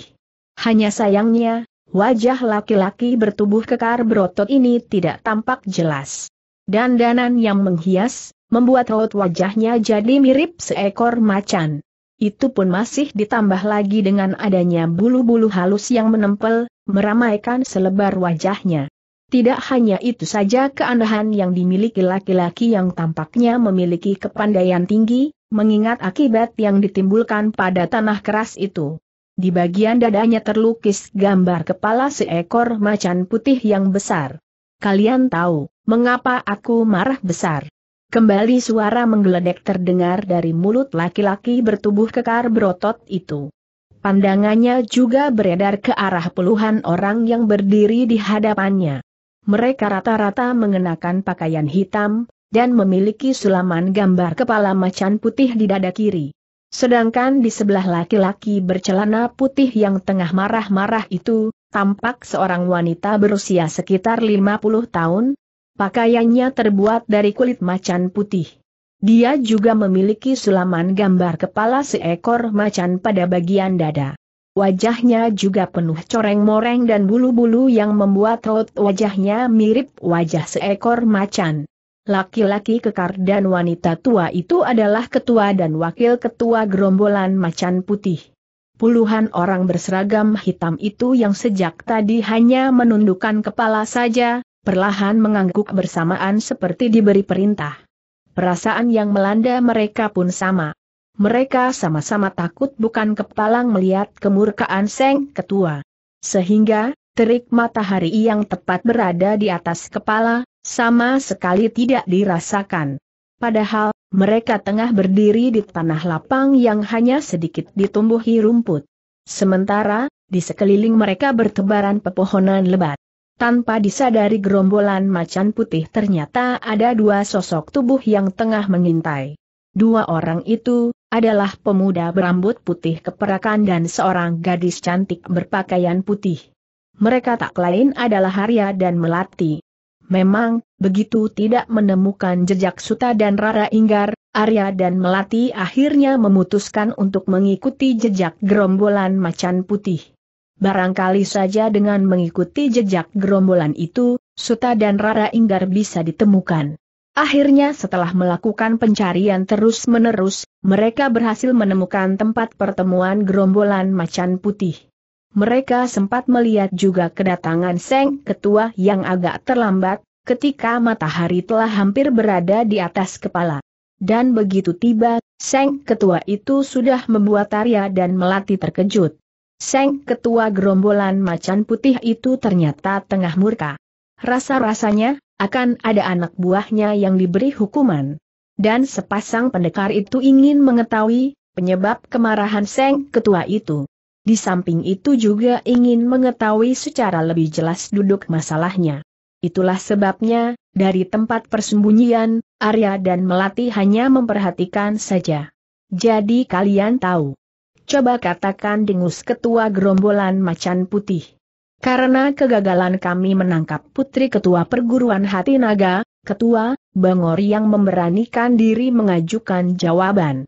HMH, dengus laki-laki bertubuh kekar berotot itu. Karuan saja sambutan Seng ketua membuat wajah laki-laki pendek gemuk itu pucat. Bagaimana dengan yang lain? Apa jawaban kalian? Semua kepala terangguk. Jelas mereka semua mempunyai jawaban pertanyaan yang sama. Bodoh kalian semua. Kontan tubuh puluhan anggota gerombolan macan putih itu terlonjak ketika Seng Ketua mendadak membentak nyaring. Wajah mereka semuanya pucat. Kalian semua dengar. Aku tidak akan semarah ini bila kalian hanya gagal menangkap putri musuh leluhurku. Tapi yang membuatku marah, adanya orang-orang yang berani melanggar laranganku dan menyelewengkan perintah-perintahku di antara kalian semua. Tegas, jelas, dan keras sekali ucapan yang dikeluarkan ketua gerombolan macan putih itu. Dan seperti yang telah kalian ketahui, aku tidak akan mendiamkan saja orang-orang yang berani menentang perintah dan laranganku. Kuharap, orang-orang yang merasa melakukan kesalahan maju ke depan, sebelum aku sendiri yang akan menyeretnya kemari ujar laki-laki bertubuh kekar berotot itu sambil melayangkan pandangan. Wajah Jalatang dan Samparan pucat pasti seketika. Memang, kedua orang inilah yang telah melakukan kesalahan seperti yang telah disebutkan ketua mereka. HMH. Di samping berani menginjak-injak peraturan, orang-orang tak berferguna itu tidak berani pula mempertanggungjawabkan perbuatannya. Mereka harus dihukum berat, kala. Biar menjadi contoh bagi yang lain, tambah wanita berpakaian kulit macan putih, dingin. Setelah beberapa saat lamanya perintah ketua gerombolan macan putih, sama sekali tidak ada tanda-tanda akan ada yang maju mengakui kesalahan. Pasti akan kulakukan, Nyinila, sahut ketua gerombolan macan putih yang ternyata bernama Kala. Menilik dari panggilan yang dipanggil masing-masing, bisa diduga kalau kedudukan wanita tua itu tidak berada di bawah Kala. Baiklah, Rupanya orang yang telah melakukan kesalahan mengira bisa menyembunyikan diri dariku ada kegeraman dalam ucapan kala. Angkat wajah kalian semua. Tanpa menunggu perintah dua kali, kepala puluhan orang berseragam hitam itu terangkat. Kalian semua perhatikan dan camkan ucapanku baik-baik. Jangan mengira kalian bisa melanggar peraturan tanpa ku ketahui. Dan buktinya, akan segera kuungkapkan di hadapan kalian. Berpuluh-puluh jantung berdebar keras penuh ketegangan. Masing-masing diri menebak-nebak, siapa orang yang telah melakukan kesalahan itu. Kala melangkah maju lambat-lambat. Karuan saja hal itu semakin menambah besar ketegangan yang melanda puluhan orang gerombolan macan putih. Meskipun ketegangan besar melanda, namun Jalatang berusaha menenangkan hati. Sehingga, wajahnya tidak terlalu gelisah. Sama saja dengan raut wajah anggota gerombolan yang lain, yang sama-sama dicekam ketegangan. Tapi ketenangan laki-laki berwajah bopeng itu mulai goyah. Jantungnya berdetak keras ketika melihat kala bergerak menghampirinya. Semakin ketua gerombolan macan putih itu mendekatinya, debar jantung jalat tangkian keras. Dan ketika akhirnya kala menghentikan langkah tepat di depannya, Laki-laki berwajah bopeng ini tidak bisa menahan diri lagi. Kedua kakinya langsung menggigil hebat. Anjing kurap desis kala penuh geram sambil melayangkan kaki. Tuk, tuk. Jalatang memekik kesakitan ketika kaki Seng Ketua menghantam kedua lututnya. Tubuhnya pun langsung terkulai karena kedua tulang lututnya langsung hancur terkena tendangan yang ditopang tenaga dalam tinggi. Tanpa mengenai kasihan sedikit pun, kala segera menjejak kedua siku Jalatang. Krek, krek. Suara berkeretek keras dua kali, menjadi pertanda hancurnya kedua tulang siku Jalatang. Kali ini tidak ada keluh kesakitan lagi dari mulut Jalatang. Bibirnya digigit kuat-kuat untuk menahan keluarnya jeritan itu saking kerasnya, sampai-sampai bibir itu pecah. Tak pelak lagi, darah pun mengalir. Ternyata tindakan kala tidak berhenti sampai di situ saja. Kali ini ujung kaki kanannya bergerak. Dan dengan sebuah gerakan mengungkit, tubuh Jalatang telah dibuatnya melayang ke atas. Bruk! Diiringi suara berdebok keras, tubuh laki-laki berwajah bopeng itu jatuh ke tanah, tepat di sebelah Nyinila. HMH. Wanita setengah tua itu mendengus seraya menggerakkan kaki menekan pergelangan tangan Jalatang. Dan, krek, tulang pergelangan tangan Jalatang pun kembali hancur. Jalatang sudah tidak mampu lagi menjerit. Siksaan kala telah membuatnya hampir pingsan. Memang, siksaan yang mendera tidak tanggung-tanggung. Tambahan lagi, laki-laki berwajah bopeng ini belum pulih dari luka-luka yang diderita setelah bertarung melawan Suta. Hanya suara keluhan pelan dan tak jelas yang keluar dari mulut Jalatang ketika pergelangan tangannya hancur berantakan. Tanpa mempedulikan keadaan Jalatang yang dilemparkannya, kala mengedarkan pandangan. Lalu, kakinya melangkah kembali. Kali ini, laki-laki bertubuh kekar berotot itu harus menyibak kerumunan anak buahnya karena orang yang dicarinya ternyata berada di bagian tengah. Wajah samparan seketika berubah. Menilik dari tatapan mata, bisa diperkirakan kalau Seng ketua tengah menuju ke arahnya. Dugaan laki-laki tinggi kurus itu ternyata tidak salah. Tepat di hadapannya, kala menghentikan langkahnya. Cacing busuk. Untuk yang kedua kalinya ketua gerombolan macan putih itu memaki. Belum lagi ucapannya lenyap, tangan kala telah terulur. Dan, krep, leher baju samparan telah dicekal tangan kala. Sekali tangan itu bergerak menyentak, tubuh laki-laki tinggi kurus itu telah terlempar. Tapi, samparan memang sudah bersiap siaga sejak tadi. Maka begitu tubuhnya dilontarkan, segera ilmu meringankan tubuhnya digunakan. Samparan mempergunakan tenaga lontaran itu untuk bersalto beberapa kali di udara. Ketarat. Berani kau memamerkan kepandaian seperti itu di hadapanku tanda seru geram kala. Pada saat yang bersamaan dengan lenyapnya suara makian itu, kala menggenjotkan kaki. Seketika itu pula, tubuhnya melayang ke udara, menyusul tubuh samparan yang tengah berjumpalitan di udara. Samparan terkejut bukan kepalang. Sepasang matanya hanya melihat sekelebatan sosok bayangan meluncur ke arahnya. Dan tahu-tahu. Plak, plak, huah, samparan memuntahkan darah segar dari mulutnya ketika dua tangan kalah menepuk kedua bahunya. Hup, indah dan manis kalah mendaratkan kedua kakinya di tanah. Disusul kemudian, samparan hinggap di tanah dalam keadaan terhuyung-huyung. Lelehan cairan merah kental tampak di kedua sudut mulutnya. Tanpa mempedulikan keadaan samparan, kalah mengalihkan pandangan ke arah puluhan anak buahnya yang hanya bisa memperhatikan semua kejadian.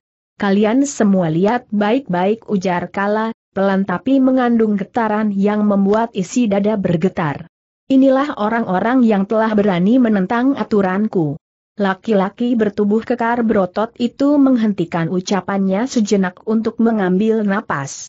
Anjing kurap ini, lanjut ketua gerombolan macan putih sambil menudingkan jari telunjuk ke arah tubuh jalatang yang masih tergolek tanpa daya di tanah. Telah berusaha memperkosa putri ketua perguruan hati naga. Ah! Seruan-seruan keterkejutan keluar dari mulut anggota gerombolan macan putih, kecuali yang menjadi bawahan Jalatang. Bahkan Sancang dan ketiga rekannya yang ditugaskan melenyapkan Kusuma ikut berseru kaget. Memang, keempat Okang itu tidak mengetahui hal itu, bertemu di tengah jalan dengan rombongan Jalatang yang tampak terburu-buru. Dan ketika ditanyakan, hanya mendapatkan jawaban kalau Rara Inggar telah diselamatkan seorang tokoh sakti, dan mereka dipukul mundur ketika mencoba melawan. Itulah sebabnya, Sancang menjadi terkejut mendengar ucapan ketua gerombolan macan putih. Dia hanya mampu memandang dengan mata terbelalak. Kala mengangkat tangan kanannya ke atas. Seketika itu pula, suasana yang semula riuh rendah suara teriak keterkejutan, kontan hening.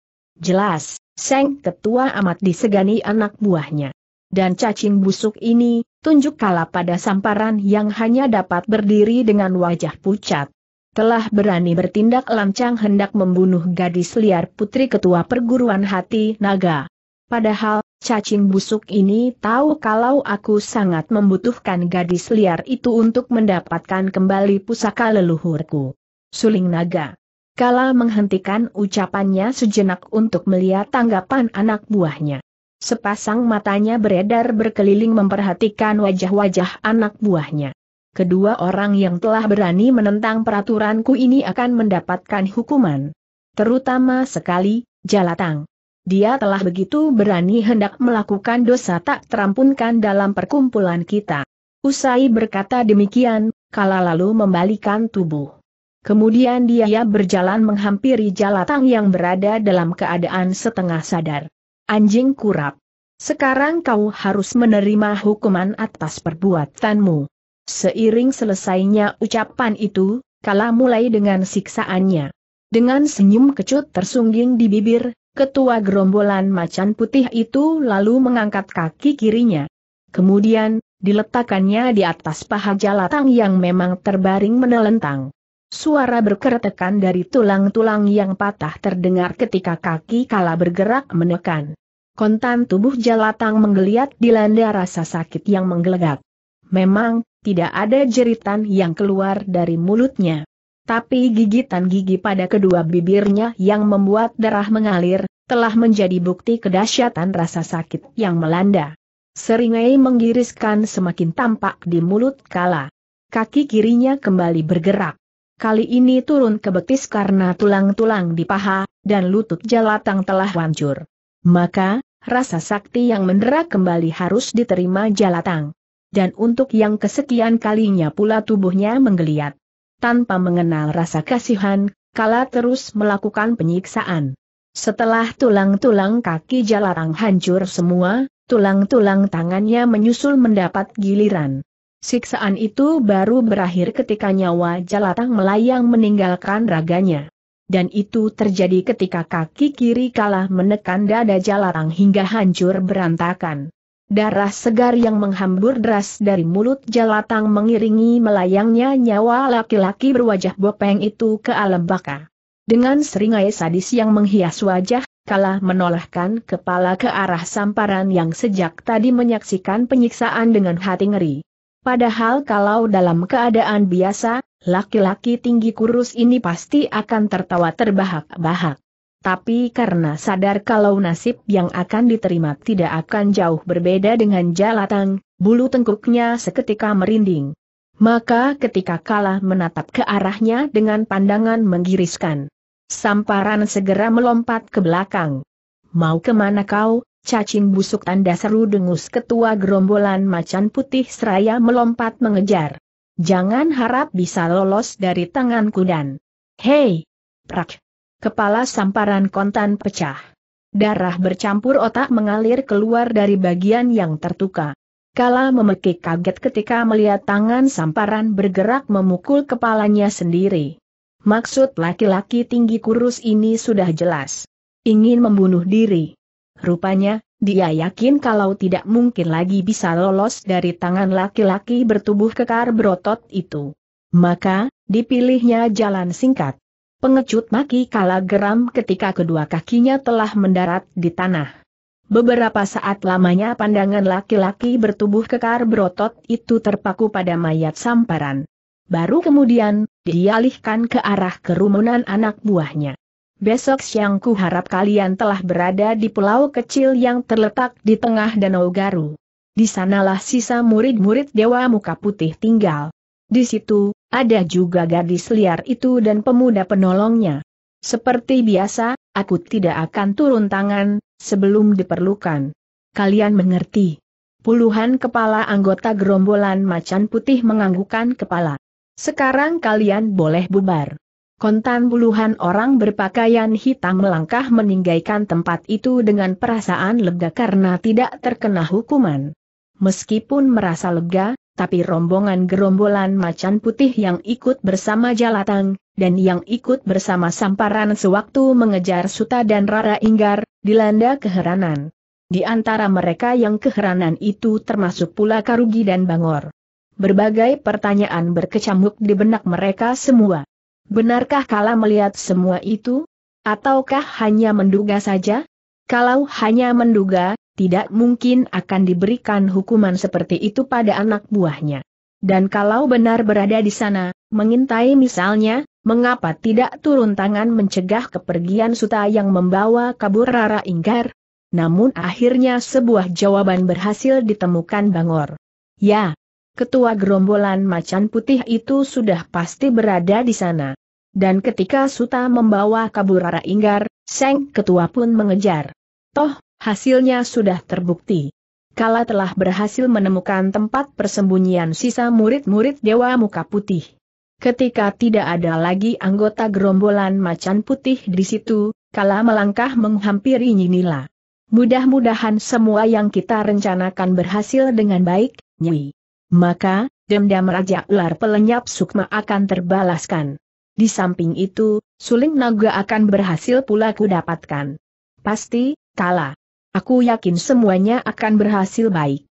Kalau tidak, rasanya akan sia-sia kita menundukkan tokoh-tokoh hitam itu, dan menjadikannya sebagai pengikut kita, terima kasih, Ji, ucap kala.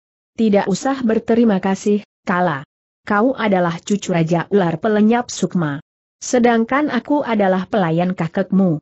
Sudah sewajarnya aku membantumu agar dendam majikanku bisa terbalaskan. Yang aku heran, mengapa kau bisa secepat itu mengumpulkan mereka, Nyai? Mudah saja, sahut wanita berpakaian dari kulit macan putih itu. Dengan panah ini. Sambil berkata demikian, Inilah lalu mengangsurkan busur dan sekelompok anak panah yang sejak tadi tersampir di pinggangnya. Baik busur maupun anak panah itu tidak sebesar biasanya, tapi kecil. Paling-paling hanya berukuran setengah dari yang biasa. Kala mengangguk-anggukan kepala pertanda mengerti. Dan memang, dia telah mengetahui kegunaan peralatan itu. Anak panah itu berapi, dan akan dilontarkan bila hendak meminta bantuan. Pantas saja kalau semua anggota gerombolan yang bergerak mengejar dan berpencar bisa berkumpul di tanah lapang di Gunung Garu. Aku pergi dulu, kala, silakan, Nyi. Belum juga gemak ucapan ketua gerombolan macan putih lenyap, tubuh wanita berpakaian kulit macan itu telah melesat dari situ. Dalam beberapa kali langkah saja, tubuhnya telah lenyap di telan kerimbunan pepohonan. Sepeninggal Nyinila, kala pun melangkah meninggalkan tempat itu. Arah yang ditempuh berlawanan dengan nenek berpakaian merah itu. Setelah suasana di tempat itu sepi, baru Dewa Arak dan Melati keluar dari tempat persembunyiannya. Bagaimana, Ken? Apa yang harus kita lakukan tanya gadis berpakaian putih itu. Kita harus ke pulau kecil di tengah danau Garu itu, Melati, ujar Dewa Arak mengambil keputusan. Aku telah mendengar tentang tokoh yang berjuluk Dewa Muka Putih. Kalau tidak salah, dia termasuk tokoh aliran putih. Maka sudah menjadi kewajiban kita untuk membantu murid-muridnya. Melati hanya mengangkat bahu. Dia telah percaya penuh pada pemuda berambut putih keperakan itu. Apa pun keputusan Arya, pasti disetujuinya.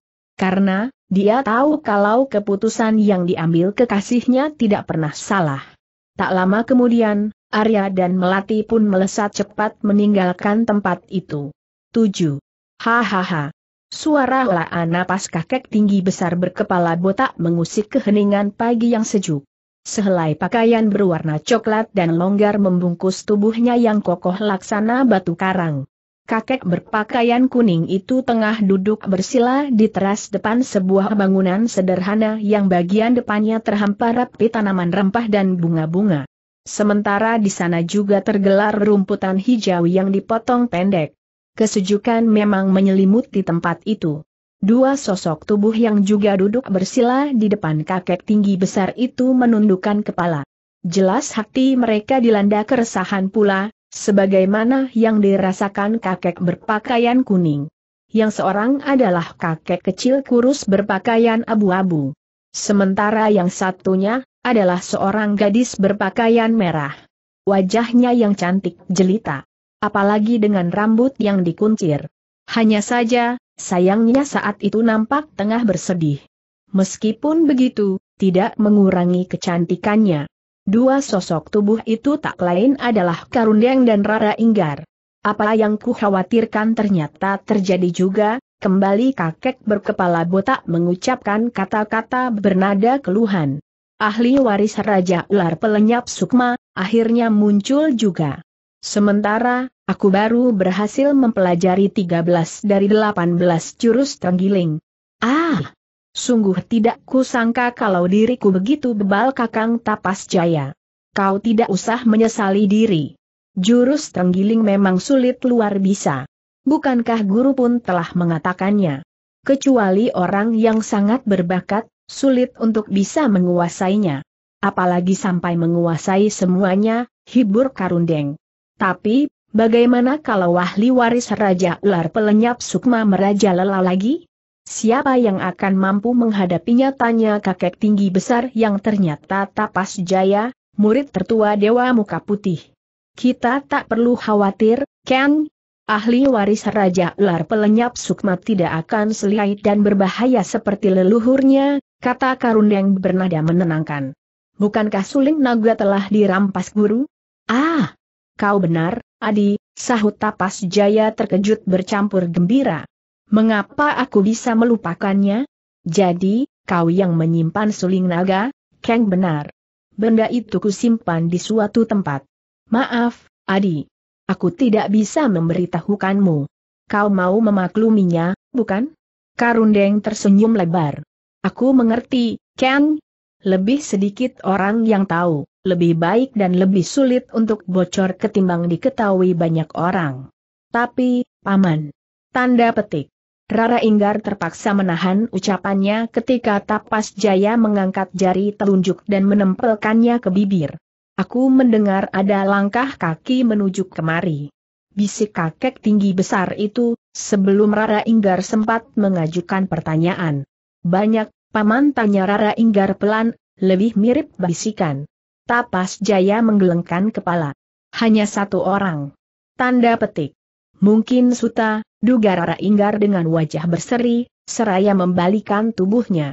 Tapas Jaya dan Karundeng tersenyum lebar. Meskipun gadis berpakaian merah itu tidak mengutarakannya, tapi bisa diterka-terka kalau Rara Inggar menyukai Suta. Baik Karundeng maupun Tapas Jaya sama sekali tidak melarang. Bahkan sebaliknya merestui. Memang, Tapas Jaya telah mendengar perihal pemuda berjubah biru itu dari Karundeng dan juga Rara Inggar sendiri. Bukan hanya Rara Inggar saja yang membalikan tubuh. Karundeng pun demikian pula. Dia juga ingin mengetahui pemilik langkah itu. Dan hanya Tapas Jaya seorang yang sama sekali tidak merubah sikap tubuhnya, karena memang tengah duduk bersila menghadap jalan. Sesaat kemudian, pemilik langkah itu pun terlihat. Dugaan Rara Inggar ternyata tidak keliru. Sutalah orangnya. Ingin rasanya Rara Inggar bangkit dari duduk bersilanya dan menghambur ke arah Suta. Hanya saja, perasaan malu yang melanda menghalanginya berbuat seperti itu.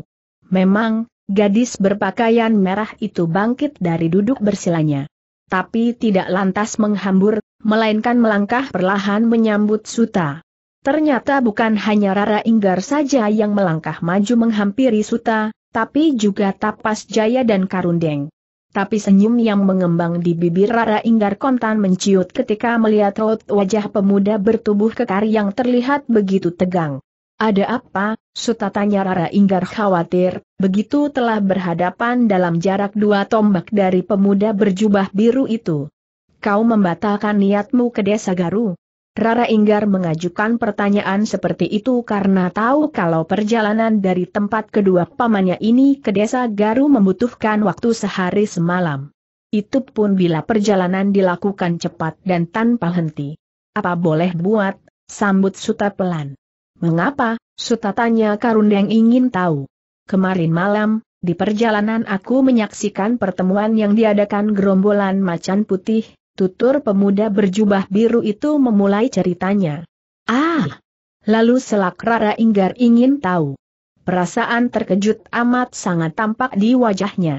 Bukan hanya gadis berpakaian merah itu saja yang terkejut Tapas Jaya dan Karundeng pun dilanda perasaan yang sama. Hanya saja, kedua kakek itu mampu menguasai perasaan sehingga tidak tampak di wajahnya. Rupanya mereka telah mengetahui tempat ini, Paman, Inggar. Karena kudengar mereka hendak menyerbu tempat ini. Ah desah Rara Inggar seraya menatap wajah Karundeng dan Tapas Jaya berganti-ganti. Apa yang harus kita lakukan, Paman? Tapas Jaya dan Karundeng tidak langsung menjawab. Dari kedua orang itu nampak berkernyit dalam. Jelas, kedua kakek sakti itu tengah memikirkan masalah yang dibawa Suta. Kita lihat saja dulu keadaannya, Inggar, jawab kakek bertubuh tinggi besar itu. Kalau memang perlu, kau dan Suta harus pergi dari sini menyelamatkan diri biar aku dan Karundeng yang akan menahan mereka. Mengapa Paman tidak ikut bersama kami meninggalkan tempat ini saja tanya Rara Inggar. Kami bukan pengecut-pengecut yang takut mati, Inggar. Apa pun yang terjadi, kami tidak akan meninggalkan tempat ini tanda Karundeng mantap. Nada suara kakek berpakaian abu-abu ini mengandung ketegasan yang tidak bisa dibantah lagi. Kalau begitu, kami pun tidak akan meninggalkan tempat ini. Kami akan melawan gerombolan macan putih itu sampai titik darah penghabisan. Bukan begitu, Suta? Jangan bertindak bodoh, Inggar sergah tapas jaya keras. Kami berdua sudah tua. Mati sekarang atau nanti tidak menjadi persoalan. Sedangkan kau masih sangat muda. Adalah sebuah tindakan bodoh untuk membuang nyawa secara percuma. Tapi, Paman, Rara Inggar terpaksa menahan ucapannya ketika melihat kakek berkepala botak itu mengangkat tangan, mencegahnya bicara lebih lanjut. Dan tindakan bodoh kedua yang kau lakukan adalah usahamu melibatkan Suta dalam persoalan kita. Kau ingin Suta menjadi buruan gerombolan macan putih itu Rara Inggar terdiam. Ucapan tapas jaya tidak hanya sampai di situ saja. Kepalanya ditolehkan ke arah Suta yang sejak tadi diam mendengarkan. Terima kasih atas pemberitahuanmu, Suta. Kuharap kau segera pergi dari sini sebelum terlibat terlalu jauh yang akibatnya membuat kami menyesal seumur hidup. Kami tidak ingin orang luar yang tidak tahu apa-apa, jadi korban karena kami. Paman seru Rara Inggar kaget. Hahaha Suta menghembuskan napas berat. Sesaat lamanya dia terdiam, dan hanya menatap wajah-wajah di hadapannya berganti-ganti. Aku memang orang luar, Ki, kata pemuda berjubah biru itu merubah panggilannya. Tapi, aku tidak bisa meninggalkan Rara Inggar di sini menghadapi gerombolan macan putih. Tapas Jaya dan Karundeng terdiam, sedangkan Rara Inggar menundukkan kepala begitu ucapan Suta selesai. Memang, meskipun hanya segitu, tapi cukup untuk diketahui maksud yang tersirat di dalamnya. Kalau kau memang tidak ingin melihat Rara Inggar celaka, bawa dia pergi dari sini, Suta. Kupercayakan murid keponakanku ini padamu, ujar Tapas Jaya setelah beberapa saat lamanya terdiam. Kalau menurut pendapatku, lebih baik kita lihat dahulu perkembangannya. Apabila betul gerombolan macan putih datang dan kita tidak bisa menanggulanginya, baru Suta dan Rara Inggar harus pergi-pergi dari sini. Dan, tanda petik. Kalau saja keadaanku memungkinkan, usulmu itu bisa kuterima, Adi, selak tapas jaya. Ap, apa maksudmu? Hahaha. Aku mengalami luka dalam yang lumayan parah ketika memaksakan diri menguasai jurus ke-14 Tringgiling. Tanda petik. Kenapa kau tidak segera mengobatinya? Kang tanya Karundeng kaget. Karena aku ingin melihat dan bercakap kacap dulu dengan murid keponakanku. Tanda petik. Paman seru Rara Inggar sambil menghambur ke arah kakek berkepala botak itu. Ada isak tangis keluar dari mulut gadis berpakaian merah itu karena perasaan haru yang menggelegak. Sungguh tidak disangka akan sebesar itu kasih sayang tapas jaya padanya, sehingga rela menangguhkan pengobatannya demi untuk bertemu dan bercakap-cakap dengan murid keponakannya. Tapas Jaya tersenyum lebar. Kedua tangannya mengembang. Disambutnya tubuh yang menghambur ke arahnya, lalu direngkuhnya penuh kasih sayang. Kedua tangannya yang masih tampak kekar, meskipun telah dipenuhi keriput di sana-sini, mengelus-elus rambut hitam dan tebal milik Rara Inggar. Maukah kau memenuhi permintaan terakhir kami berdua? Inggar tanya Tapas Jaya. Rara Inggar mendongakkan kepala, kemudian perlahan kepalanya terangguk. Kau dan Suta pergi dari sini. Rara Inggar terperanjat sebentar, tapi kemudian tersenyum walaupun getir. Kalau hal itu dapat membuat hati paman berdua gembira, aku mau memenuhinya, kata gadis berambut dikuncir itu dengan suara serak. Bukan hanya gembira saja, Inggar. Tapi juga bahagia. Kami akan berbahagia sekali bila Kasudi memenuhi permintaan kami. Tanda petik. Ada apa, Paman tanya Rara Inggar ketika melihat kakek tinggi besar itu menghentikan ucapannya secara mendadak. Aku mendengar banyak langkah kaki menuju kemari. Tanda petik. Banyak selak suta. Jangan-jangan mereka adalah gerombolan macan putih, mungkin kau benar, Suta, kali ini Karundeng yang menanggapi. Menilik dari suaranya, jumlah mereka tak kurang dari 20 orang. Tanda petik. Kalau begitu kita harus bersiap-siap menghadapinya, tegas Rara Inggar gagah sambil melepaskan pelukannya. Tapi, ingat. Begitu keadaan tidak menguntungkan, kau dan Suta harus segera meninggalkan tempat ini. Rara Inggar mengangguk. Aku bukan orang yang suka menarik kembali ucapan yang telah keluar dari mulutku. Paman. Bagus. Aku percaya padamu. Dugaan Suta tidak keliru. Di kejauhan tampak banyak sosok tubuh berpakaian hitam yang tengah bergerak cepat menuju ke arah mereka. Itukah gerombolan macan putih yang telah menghancurkan perguruan ayahmu? Inggar tanya Tapas Jaya. Rara Inggar mengangguk.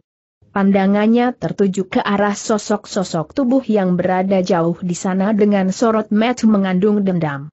Mari kita sambut mereka kata Karundeng sambil melangkah meninggalkan pondok. Tapas Jaya, Rara Inggar, dan Suta bergegas mengikuti. Pandangan mata mereka tertuju pada puluhan sosok tubuh yang semakin lama semakin bergerak mendekat. Memang, rombongan itu tak lain adalah gerombolan macan putih. Berdiri paling depan adalah Nyinila, Bangor dan beberapa orang pemimpin kelompok. Serbu teriak Nyinila seraya mengibaskan tangan kanan ke depan. Tanpa menunggu perintah dua kali, puluhan gerombolan macan putih meluruk ke arah rombongan Tapas Jaya. Suara-suara berdesing nyaring dan berkeredap sinar-sinar berkilatan mengiringi tercabutnya golok bergagang kepala macan putih. Maka dengan senjata terhunus di tangan, gerombolan macan putih menerjang. Serbuan gerombolan macan putih itu disambut hangat oleh rombongan Tapas Jaya. Sementara Rara Inggar tanpa ragu-ragu lagi segera menghunus pedangnya. Tapi Tapas Jaya, Karundeng, dan Suta sama sekali tidak menggunakan senjata. Dengan tangan telanjang, mereka menghadapi serbuan puluhan gerombolan macan putih. Seperti telah diatur saja, Nyinila segera melesat ke arah Karundeng. Tapas Jaya dikepung Bangor, seorang pemimpin regu lagi dan empat orang pemimpin kelompok. Sedangkan sisa pemimpin kelompok yang berjumlah tujuh orang dan puluhan orang gerombolan macan putih lainnya, mengeroyok Rara Inggar dan Suta. Pertarungan sengit dan mati-matian pun tak bisa dielakkan lagi. Memang, masing-masing pihak telah mengeluarkan seluruh kemampuan. Di antara semua orang yang tengah bertarung, hanya Tapas Jaya saja yang merasa menyesal bukan kepalang. Mengapa lawan datang di saat dirinya belum berhasil memulihkan kesehatannya? Sehingga, kelihayannya menurun jauh. Oleh karena itu, Tapas Jaya mengalami sedikit kesulitan untuk menghadapi keroyokan enam orang lawan. Terutama sekali Bangor dan rekan setingkatannya. Ternyata bukan hanya Tapas Jaya saja yang mengalami kesulitan. Karundeng, Rara Inggar, dan Sutap pun mengalami hal yang sama. Karundeng yang menghadapi Nyinila dibuat terpontang-panting ke sana kemari. Memang, tingkat kepandaian kakek berpakaian abu-abu ini hanya sedikit di atas Ibu Rara Inggar yang tewas di tangan Nyinila. Maka tidak aneh kalau Karundeng menghadapi lawan berat. Di antara keempat orang itu, yang terlihat menggebu-gebu hanya Rara Inggar seorang. Pedang di tangannya melesat ke sana kemari mencari-cari sasaran. Tapi, serangannya selalu kandas, karena lawan-lawan yang dihadapi terlalu berat. Empat orang pemimpin kelompok. Padahal seorang di antara mereka saja, memiliki kepandaian yang hanya berselisih sedikit saja daripadanya.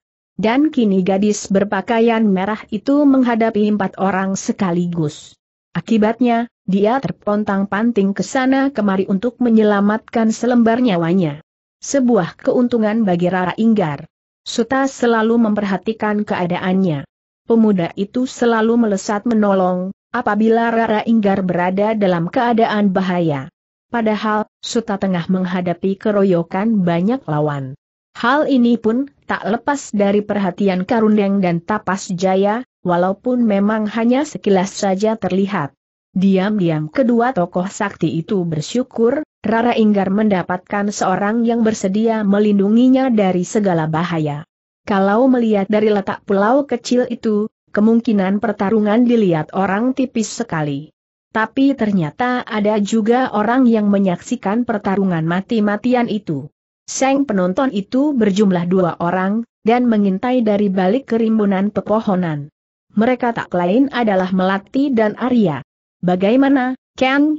Apakah kita perlu turun tangan sekarang? Tanya Melati yang sudah tidak sabar lagi untuk segera terjun dalam pertarungan.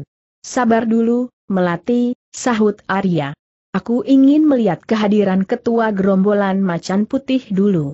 Dan lagi, ada hal-hal yang mencurigakan hatiku. Tanda petik.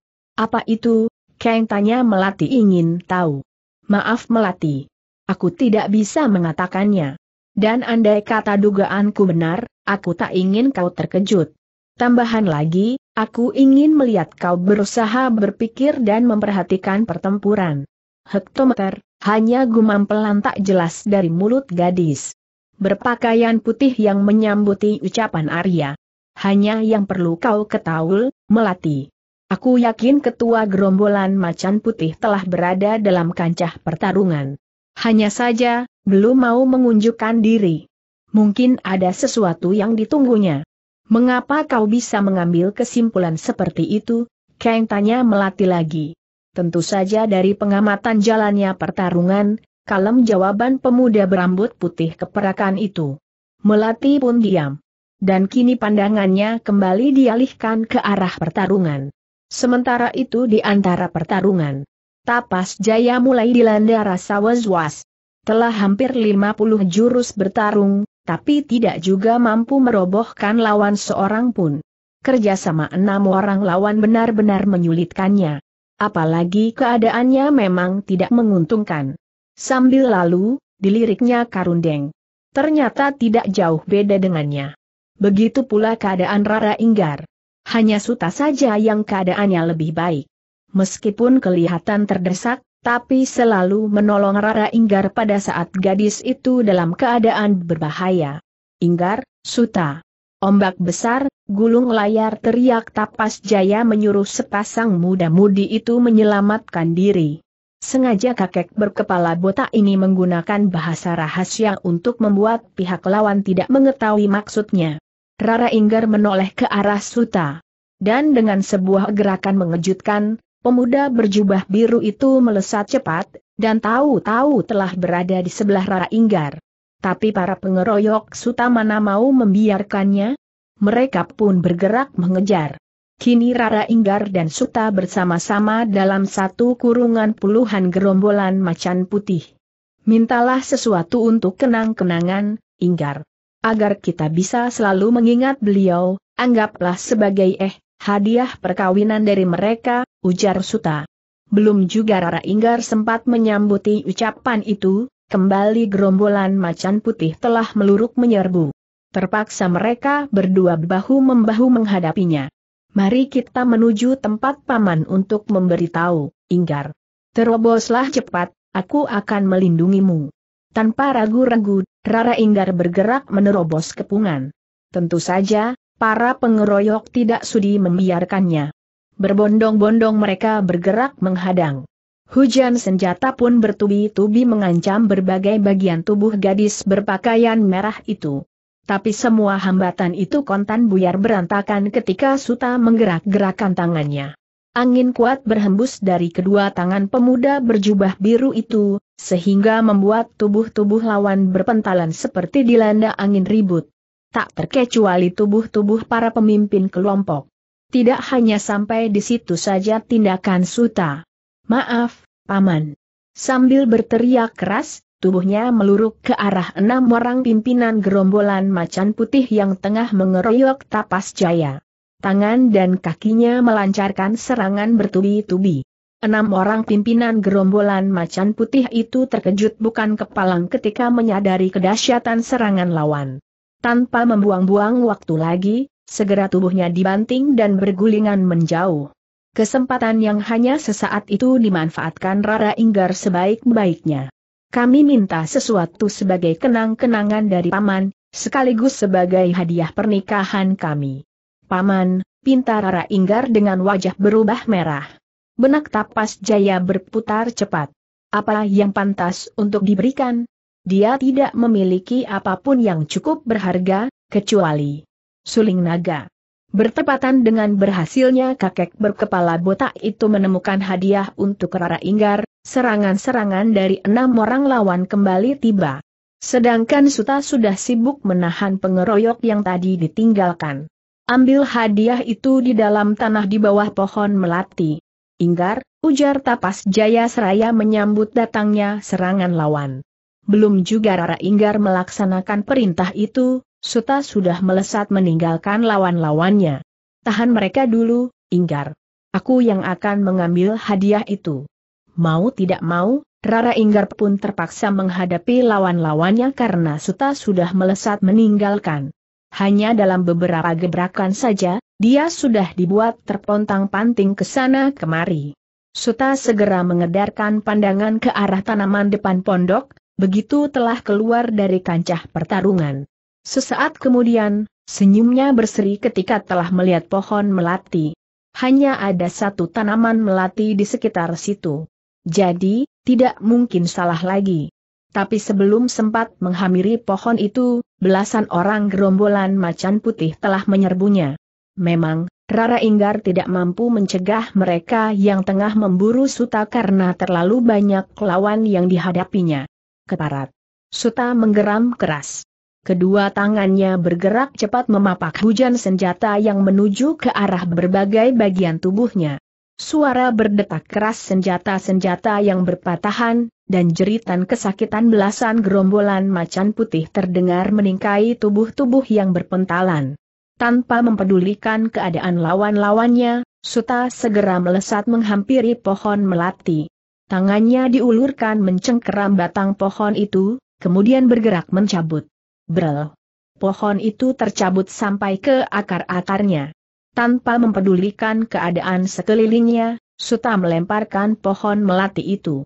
Pandangannya langsung dialihkan ke arah lubang yang kini terbentuk. Wajah pemuda berjubah biru ini kontan berseri ketika melihat sebuah buntalan kain kuning di dasar lubang.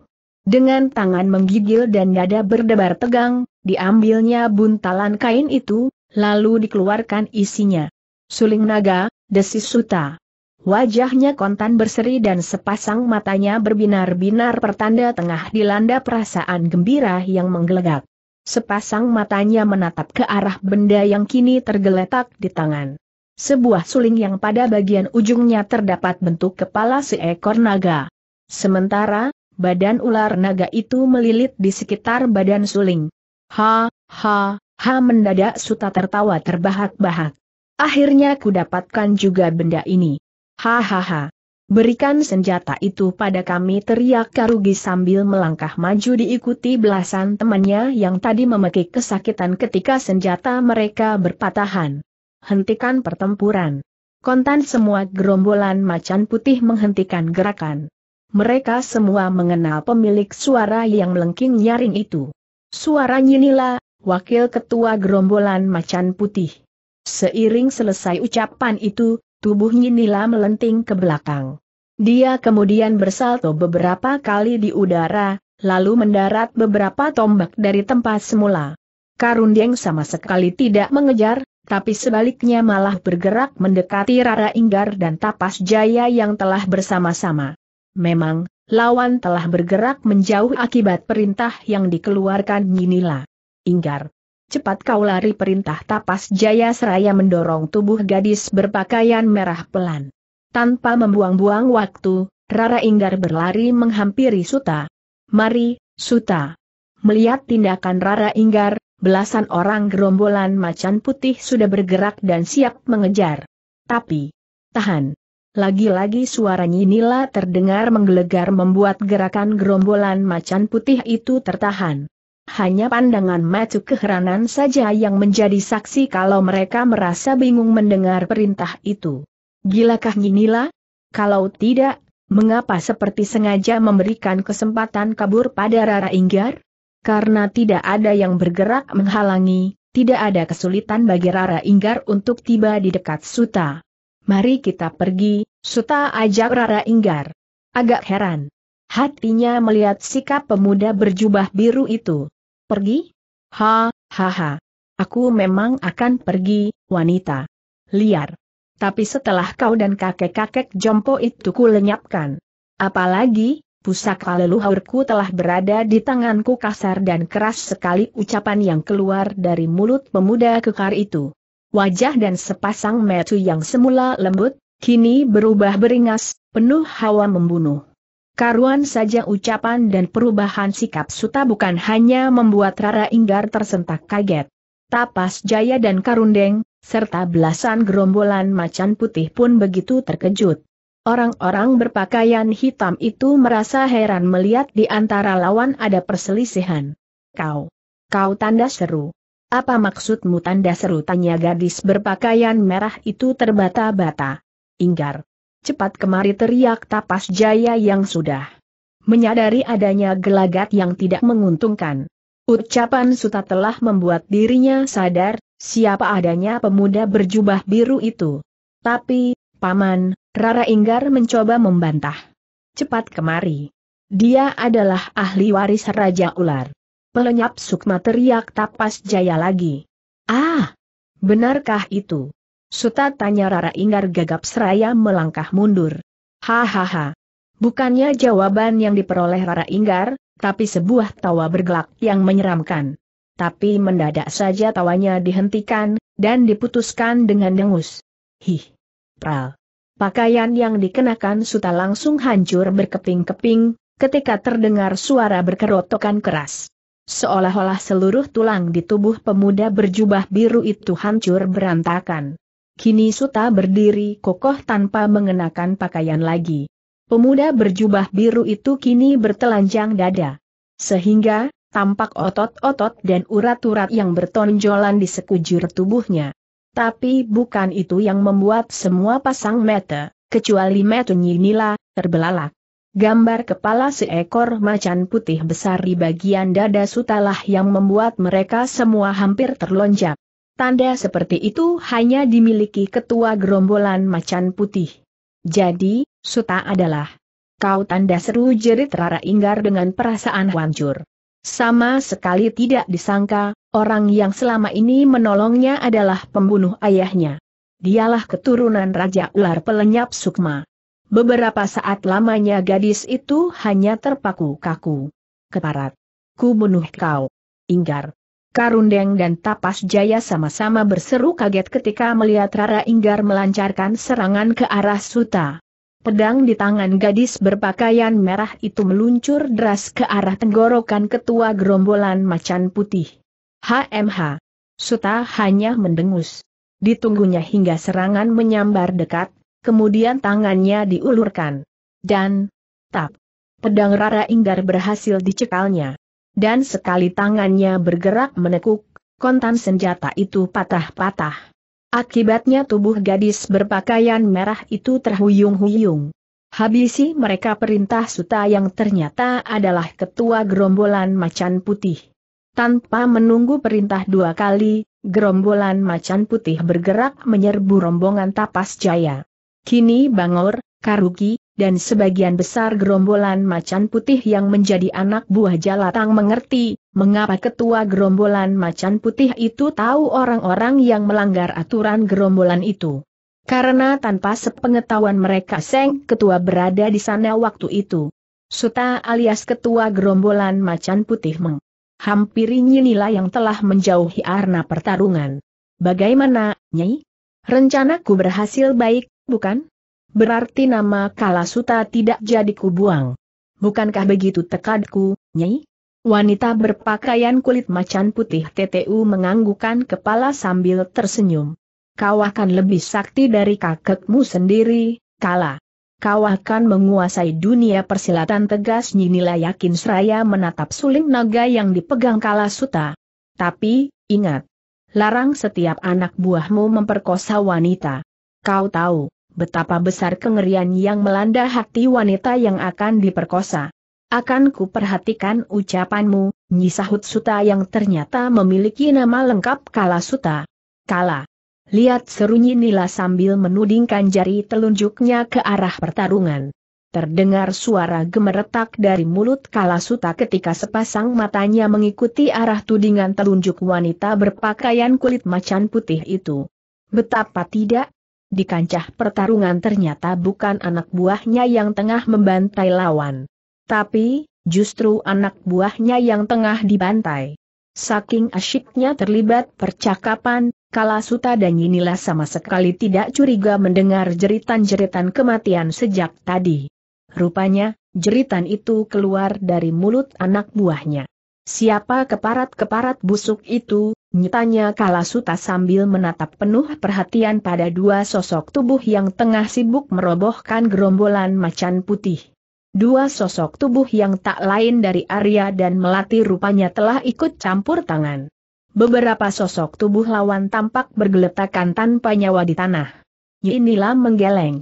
Siapa pun adanya kedua orang itu, mereka harus dilenyapkan. Mari, Nyi. Kita bunuh mereka. Sambil berkata begitu, Kala Suta dan Yinilah melompat ke dalam kancah pertarungan. Seperti telah dimufakati lebih dahulu, Kala Suta langsung menerjang Dewa Arak. Sementara, Nyisula langsung menerjang Melati. Tanpa sungkan-sungkan lagi, mereka mengirimkan serangan bertubi-tubi dan mematikan ke arah berbagai bagian tubuh sepasang pendekar itu. Arya dan Melati tidak menjadi gugup, dan buru-buru menangkis. Seluruh tenaga dalam dikerahkan dalam tangkisan itu. Plak, plak, plak. Suara nyaring seperti beradunya dua batang logam keras terdengar ketika empat pasang tangan itu berbenturan tubuh mereka pun sama-sama terhuyung ke belakang.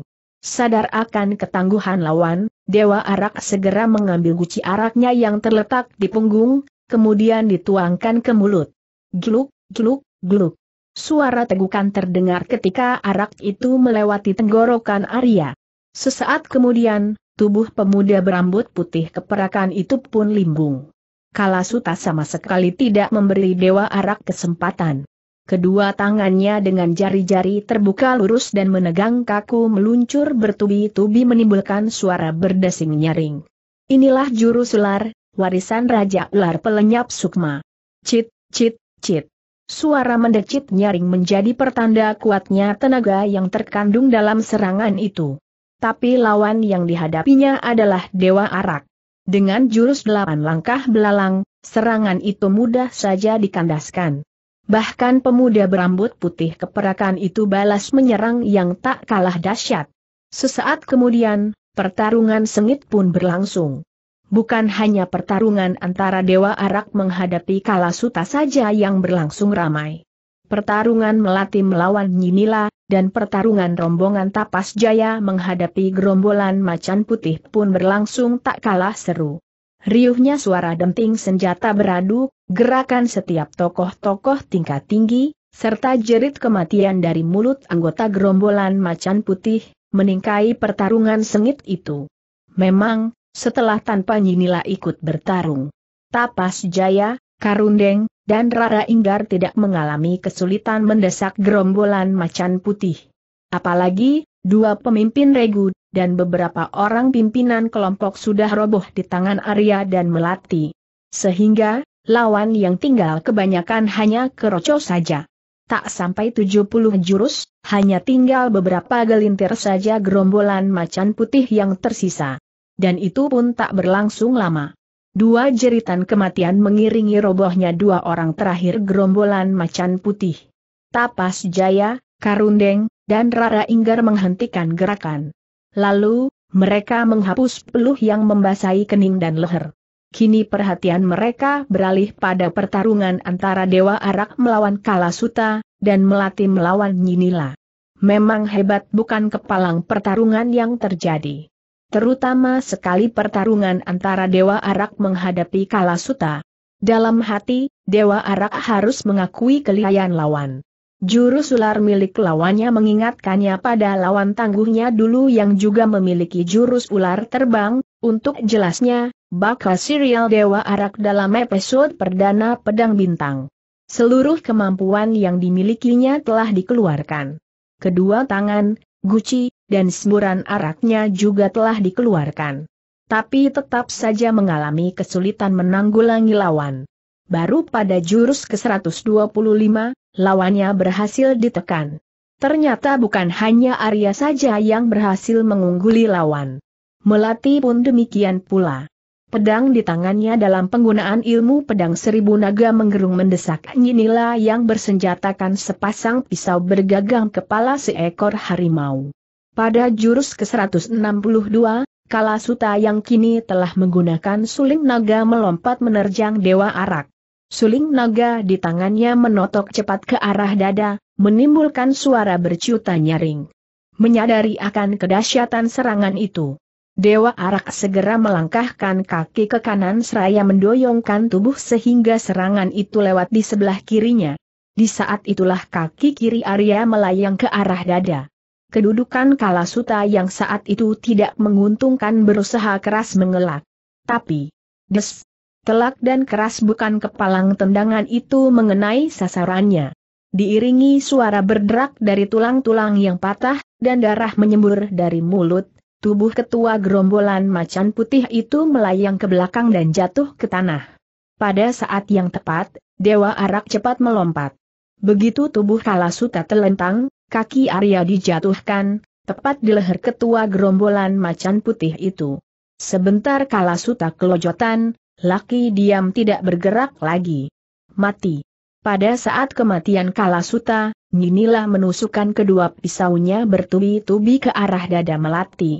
Tapi dengan sebuah genjotan pelan pada kaki, gadis berpakaian pulih itu telah membuat serangan lawan tidak mengenai sasaran, dan hanya meluncur lewat di bawah kakinya. Memang, Melati telah melompat ke atas. Dan dari atas, dengan kecepatan luar biasa Melati menusukkan pedangnya ke arah kepala dan cap, ah ah ah, inilah menjerit ngeri. Tubuhnya pun roboh ke tanah, berbarengan dengan hinggapnya kedua kaki melati. Sesaat tubuh wakil ketua gerombolan macan putih itu menggelepar, sebelum akhirnya diam tidak bergerak lagi. Tanpa membuang-buang waktu lagi, Dewa Arak dan Melati segera melesat meninggalkan tempat itu. Anak muda. Tunggu Karundeng berusaha mencegah kepergian Arya, tapi terlambat. Karena, hanya dalam beberapa langkah saja tubuh sepasang muda-mudi itu telah mengecil. Rara Inggar hanya dapat menatap mayat Kalasuta dengan berbagai macam perasaan yang bercampur aduk. Pandangan matanya pun tetap tidak bergeming, meski tapas jaya berjalan menghampiri mayat Kalasuta dan mengambil suling naga. Sementara, Karundeng masih telah melayangkan pandangannya ke depan, ke arah tubuh